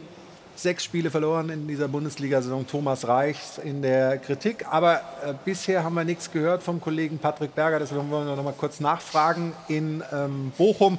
Was war denn der Ablauf äh, seit 11 Uhr, seit wir das letzte Mal miteinander gesprochen haben? Was hat sich getan?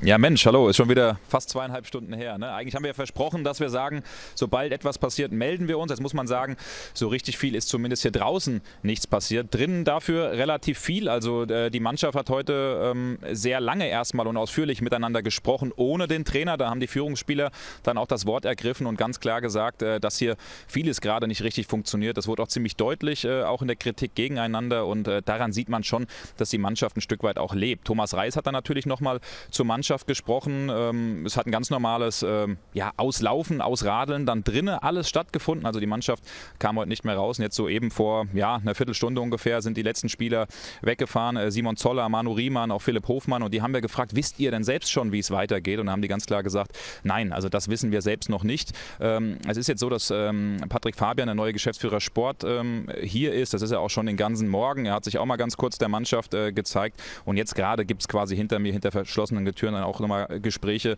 äh, mit Thomas Reis. Aktuell, wenn ich so ein bisschen wetten müsste, würde ich wahrscheinlich sagen, dass äh, sich die Vereinsführung auch mit Ilja Kenzig und Hans-Peter Phillis heute nochmal zusammensetzen und dann wahrscheinlich die Reißleine ziehen. Aber das ist ein bisschen Interpretation. Ähm, und dann ist ja auch so ein bisschen die Frage, wie das eben hier weitergeht. Wer kann das Ganze übernehmen? Und da ähm, gibt es an sich zwei Kandidaten, die sich ähm, ja, sehr hartnäckig halten. Und das sind eigentlich Heiko Butcher und äh, Fanny Heinemann. Butcher, der trainiert die U19 und Heinemann, der ja lange hier schon als Co-Trainer auch werkelt, war ja auch eine Zeit lang Interimstrainer und der ist übrigens schon so vor einer halben Stunde weggefahren, also auch ohne zu wissen, wie es hier eigentlich so richtig weitergeht. Spricht denn aus deiner Sicht äh, noch was für Thomas Reis, wenn du so die Stimmung wahrnimmst? Ja, also es gibt sowohl Sachen, die für als auch gegen ihn sprechen. Vielleicht fangen wir mal kurz damit an mit den Sachen, die für Thomas Reis sprechen. Also er ist natürlich der erfolgreiche Aufstiegstrainer, hat die Mannschaft ja vor drei Jahren übernommen, erst die Klasse gehalten, sensationell dann eben hochgeführt, dann den Klassenerhalt geschafft in der vergangenen Saison. Man darf auch den Derby-Sieg gegen den BVB nicht ganz außer Acht lassen. Also er hat schon Kredit hier und ich habe mich auch, hinter mir sind ja doch einige Fans, Autogrammjäger, Selfiejäger ähm, unterhalten und da ist die Meinung auch so ein bisschen unterschiedlich. Es gibt schon einige, die sagen, wir müssen da festhalten, weil es ist eben der der Mann, der uns diese ganzen Erfolge ähm, beschert hat. Und auch die Spieler sind zum Teil hinter ihm. Zum Beispiel Zoller, äh, auch Hofmann gestern haben klar gesagt, er erreicht uns noch und äh, man sollte an ihm festhalten. Aber es gibt eben diesen Zwist äh, auch auf der Ebene ganz oben äh, mit der Vereinsführung. Es ist ja mittlerweile bekannt, dass ähm, Thomas Reis, er war ja vor ein paar Wochen auch bei uns im Doppelpass, ähm, Gespräche mit Schalke 04 geführt hat, die auch relativ ähm, weit schon waren und Bochum eine Regel äh, davor geschoben hat und gesagt hat, nein, das machen wir nicht. Und da hat er sich einfach schlecht verkauft verkauft. Da hat er ähm, ein Stück weit auch geflunkert und hat eben nicht ganz zugegeben, dass es diese Gespräche gab. Und da ist das Vertrauensverhältnis schon äh, ganz schön angekratzt. Und dann muss man einfach sagen, die sportlichen Erfolge, die bleiben aus. Sechs äh, Niederlagen. Man droht den Anschluss eben zu verlieren. Das sind jetzt fünf Punkte auf das rettende Ufer. Und äh, man hat am Wochenende ein sehr, sehr wichtiges Spiel gegen den ersten FC Köln vor der Brust. Und dann die Länderspielpause. Aber also man könnte einem möglichen neuen Trainer dann die Möglichkeit geben, die Länderspielpause auch voll zu nutzen. Also aktuell ist es dann doch eher so, dass die Dinge gegen Thomas Reis sprechen. Er selbst hat sich kämpferisch gegeben auf der einen Seite, aber hat schon gesagt, er kommt sich recht albern vor, immer vor der Mannschaft das Gleiche zu sagen und es äh, trägt keine Früchte. Also das ist dann schon eine recht bedenkliche Aussage, wie ich finde. Dann danke ich dir, Patrick, für die Informationen aus Bochum. Und wenn da noch Dynamik reinkommt, natürlich äh, bei uns bei sport1.de werden Sie auch immer darüber informiert. Damit schauen wir auf den Freitag, äh, der erste Dreier von Augsburg. Und es gab einen Mann, der beides war. Auf der einen Seite Held und auf der anderen Seite Buhmann.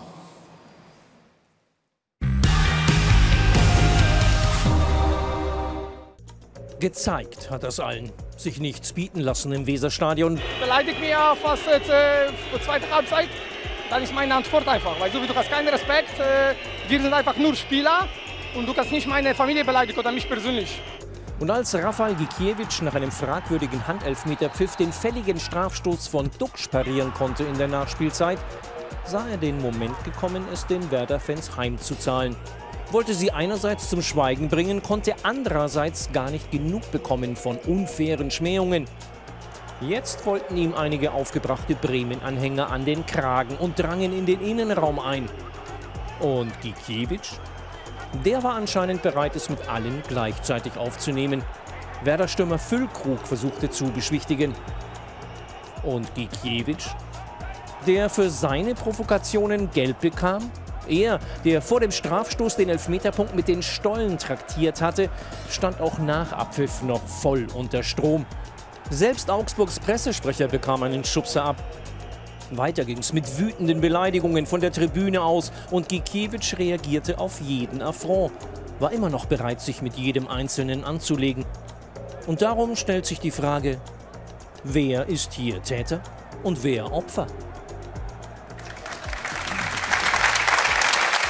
Stefan, du warst ja immer die Warum, Ruhe Stefan? selbst. Stefan, ja, kennen Sie- warum warum- wohl? Stefan, Sie die Gesten aus? okay. Ja, gut. Ja, also, darf sich ein Soll Spieler... reinwerfen? Was? Äh, Stefan kennt Sie mit Gesten Ja, aus. also Geld nehmen wir immer.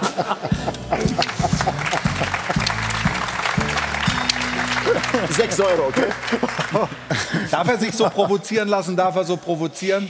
Wie, wie, wie kannst du dich reindenken? Du hast dich ja auch manchmal mitreißen lassen. Manchmal. Ja. ähm, also er wird ja auch provoziert, durchgehend. Ja, klar, sag also du ja. hast die Kurve im Rücken. Deswegen haben wir wirst- gefragt, wer ist wirst Täter, wer ist Opfer? Du wirst durch... Ja, er ist beides. Ja, komm, also ein bisschen mehr kannst du noch beitragen. Also du willst ein paar Anekdoten hören, oder wie? ähm,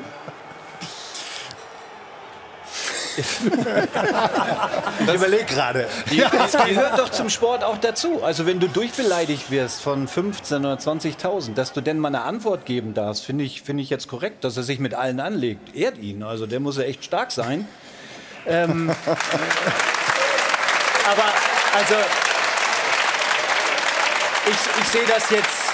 Ich sehe das jetzt nicht so, dass man ihn vereinsintern bestrafen sollte oder sonst irgendetwas. Auch das finde ich Na, gehört zum vielleicht Sport eine dazu. Eistonne aufstellen neben dem Tor. Ja, ja er aber wir sind ja, wir kann. sind ja auch früher nach Dortmund gefahren.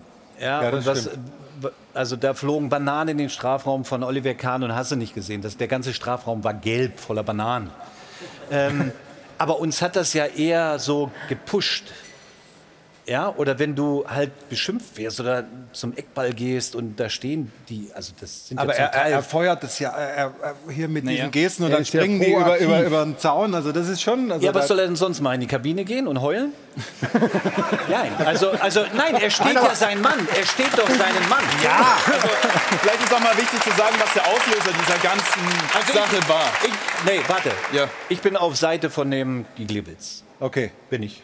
Ja, bin, bin ich grundsätzlich auch. Ich sehe, also man sollte das große Ganze sehen. Also viele Fans sagen, er hat sich beim Tor des FC Augsburg einfach sehr gefreut, hat gejubelt und zwar in Richtung der Kurve von Bremen. Und dadurch wo, ja, haben sie sich provoziert gefühlt. Das ist zumindest die Aussage, die ich aus Bremen gehört habe. Das ist kein Grund, jetzt jemanden zu beleidigen. Ich, ich finde auch immer diese Argumentation ein bisschen schwierig.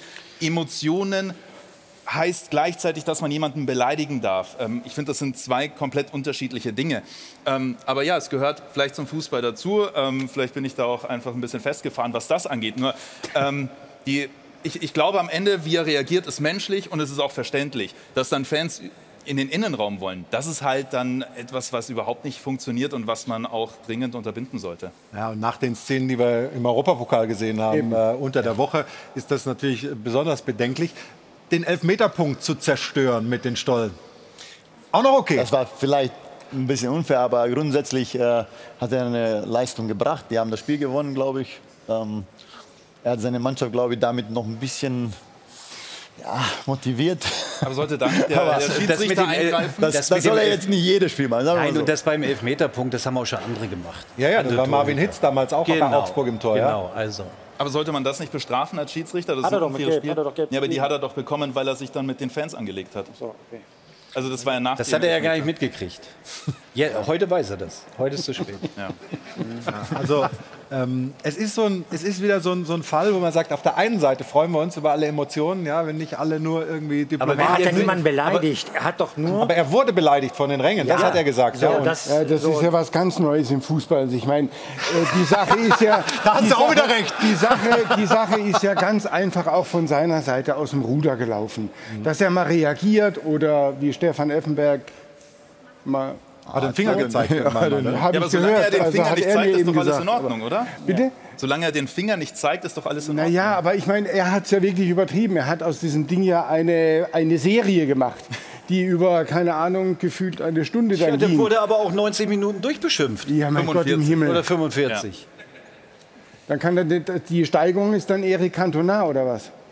Nein, das habe ich ja. Also, nein, nein, nein. meine, du, du, ist ja- du bist ja jetzt zu weit weg. Aber Fakt ist doch auch, wenn wir uns das, also ich nehme jetzt mal einen Oliver Kahn oder Man meine muss sich nicht alles bieten lassen. Wenn wir uns wichtig. das zu Herzen nehmen würden bei jedem Auswärtsspiel mit Ja. Beschimpfung, Ja. Beschimpfungen, die eigentlich zur Anzeige führen, müssten wir Ja, oder natürlich. hätten wir bei jedem Auswärtsspiel 25.000 Anzeigen oder, oder äh, machen müssen gegen die, gegen die Fans. Also es gehört bis zu einer gewissen Grenze dazu. Natürlich, ja. Dann Und da das die- weiterzumachen, das ist natürlich grenzwertig, auch was die Fans denn gemacht Du konntest auf Geht Durchzug gar schalten? nicht. Oder gab, du konntest da auf Durchzug schalten oder gab es auch Sachen, die dich dann so am Herz berührt haben, so wie das offensichtlich jetzt bei Ja, in Köln war mal so eine Aktion, ja. Als wir mit Gladbach in Köln gespielt haben. Das war ein hochbrisantes Derby, ist es ja heute noch.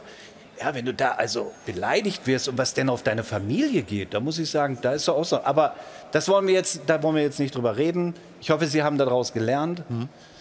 Am Ende sollte es doch darum gehen, die eigene Mannschaft zu unterstützen und nicht den Gegner fertig zu machen. Als Fan. So gehe ich zumindest ins Stadion. Und das wäre natürlich die schöne, heile Welt. Ich weiß, es ist nicht Ich meine, da realistisch. ist ja schon ein bisschen ein Problem aufgetaucht in den letzten Wochen, wo man äh, das Gefühl hat, äh, dass die Vereine vielleicht ein bisschen mehr tun sollten oder ein bisschen mehr einschreiten. Vielleicht auch der Verband, wenn solche Dinge passieren wie äh, bei In Nizza, Köln, in, in Frankfurt und all solche Dinge. Die- Das geht ja nur weit über, die, über das erträgliche Maß hinaus. Die Frage, was willst Ja. du machen? Zum Beispiel Punktabzüge für die Vereine, Aber doch wie nicht, weil auch jemand immer. beleidigt wird. Nein, nicht wenn, Aber wenn wir sehen, Platz es ist ein, ein hochemotionales Gewalt, Thema, auch äh, hier in der Runde. äh, Nur, durch die Gegend rennt. nur ich habe immer den Blick auf die Uhr.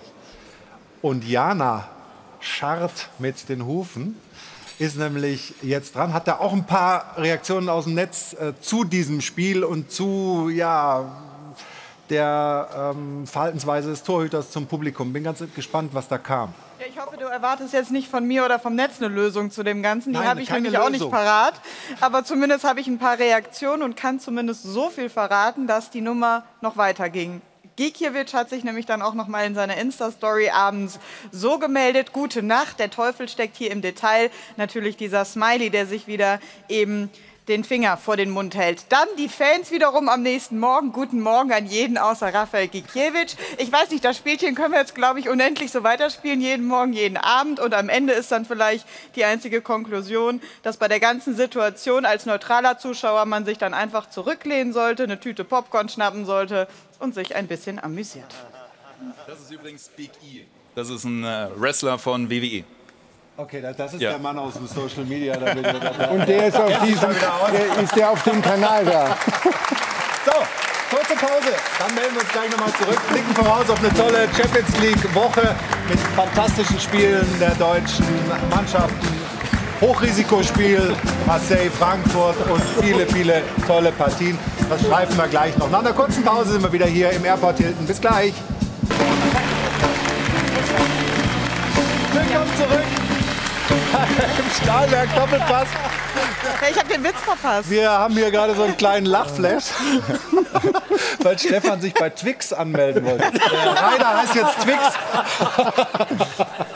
Du hast da noch was zu tun mit ihm. Um ihm ich bin doch nicht mal auf der Plattform. Was soll ich denn da machen? Du meinst, das ist alles hoffnungslos bei Stefan Ja, das kannst du vergessen. Wenn, wenn Sie das nicht verstehen, Twitch. liebe Zuschauerinnen und Zuschauer, was wir machen. Es gibt den ganzen Doppelpass ja bei uns auf der App auch nochmal zum Anschauen bei YouTube und so weiter. Also wir haben hier einen Social Media Workshop heute gehabt, in Ansätzen. Jetzt ist Jana Rosnitzer bei uns in der Runde und äh, wir wollen wissen, ist Geld zusammengekommen, außer dem, was wir hier so reingeworfen haben, spärlich ins Schweinchen? Ja, aber hallo, wie viel Sendezeit haben wir? Ich brauche heute ein bisschen, um das Du hier musst, alles du musst schnell reden. Auch das noch. Und das beim Vorlesen ist ja eh meine Stärke. Über 700 Euro sind zusammen. Wow, das ist aber toll. Und jetzt Achtung. Wir sagen Danke an den Fanclub Schledde and Friends. Rolf Benz Rampe, Nelio aus Raubling, das ist ein kleiner Bayern-Fan, der ist hier heute im Publikum mit dabei. Da vorne sitzt er dann da. Sehr schön. Der FC Bayern Fanclub Dietmarschen. Wir haben Junggesellenabschied hier. Alna Tress, die sind gestern Abend losgezogen, heute noch hier. Noch gut aus. Dominik Schütz und Lea Arnold, Armbrust Gebäudedienste aus Groß-Gerau, BNI Darmstadt Chapter Lichtenberg, dann der Horbacher Kerb mit dem Königlich Bayerischen Vollgasorchester, klingt auch spannend. Der FC Bayern Fanclub Schauen wir mal aus Freigericht Horbach, der VfB Fanclub RBS Bergheim 1977 e.V., Thomas Kürz aus dem Schwarzwald, Mirko Borchardt aus Schwedt und der Fußballclub City Schwedt, eine Spende aus der Kurve in Sulz am Eck und die sechs Freunde aus der Eifel mit Jupp Johannes, Ömer, Daniel Wippo und Tobi. Ach nee, und EZB Watterunde. Stopp, es geht noch weiter. Markus aus Basel und Jens Andersson vom SG Aufbau Weizenburg. Über 700 Euro. Vielen Dank, danke. Kurz durchatmen, Jana. Aber Moment. Wo wir eben beim Thema Social Media waren, ne, wir hatten ja auch auf Twitter dazu aufgerufen, ähm, Fragen zu stellen an Hassan Salihamidzic. In Anbetracht der Zeit habe ich mir jetzt die schönste rausgesucht. Die kommt nämlich auch tatsächlich aus unserem Publikum heute. Die Jungs fragen nämlich, Hassan, können Sie uns eine Runde Bier zum Retro-Trikot-Tisch bringen? Wir sind eine lustige Zehnertruppe. Ach, herrlich. Das wird gleich erledigt. Unser Champions League-Ausblick, der entfällt jetzt. Bayern, Barca, Man City, BVB, Real gegen RB Leipzig, Leverkusen, Atletico, Marseille, Frankfurt. Alles im Fan-Talk unter der Woche. Das war's für den heutigen Sonntagmorgen. Hat Rudi Brückner um 21 Uhr auch tolle Gäste, unter anderem Jens Keller. Und nächste Woche ist bei uns hier Sebastian Kehl vom BVB. Dankeschön an Hassan Salihamidzic und danke an die Runde und danke Ihnen. Hat großen Spaß gemacht. Bis nächsten Sonntag. Bis dann. Ciao.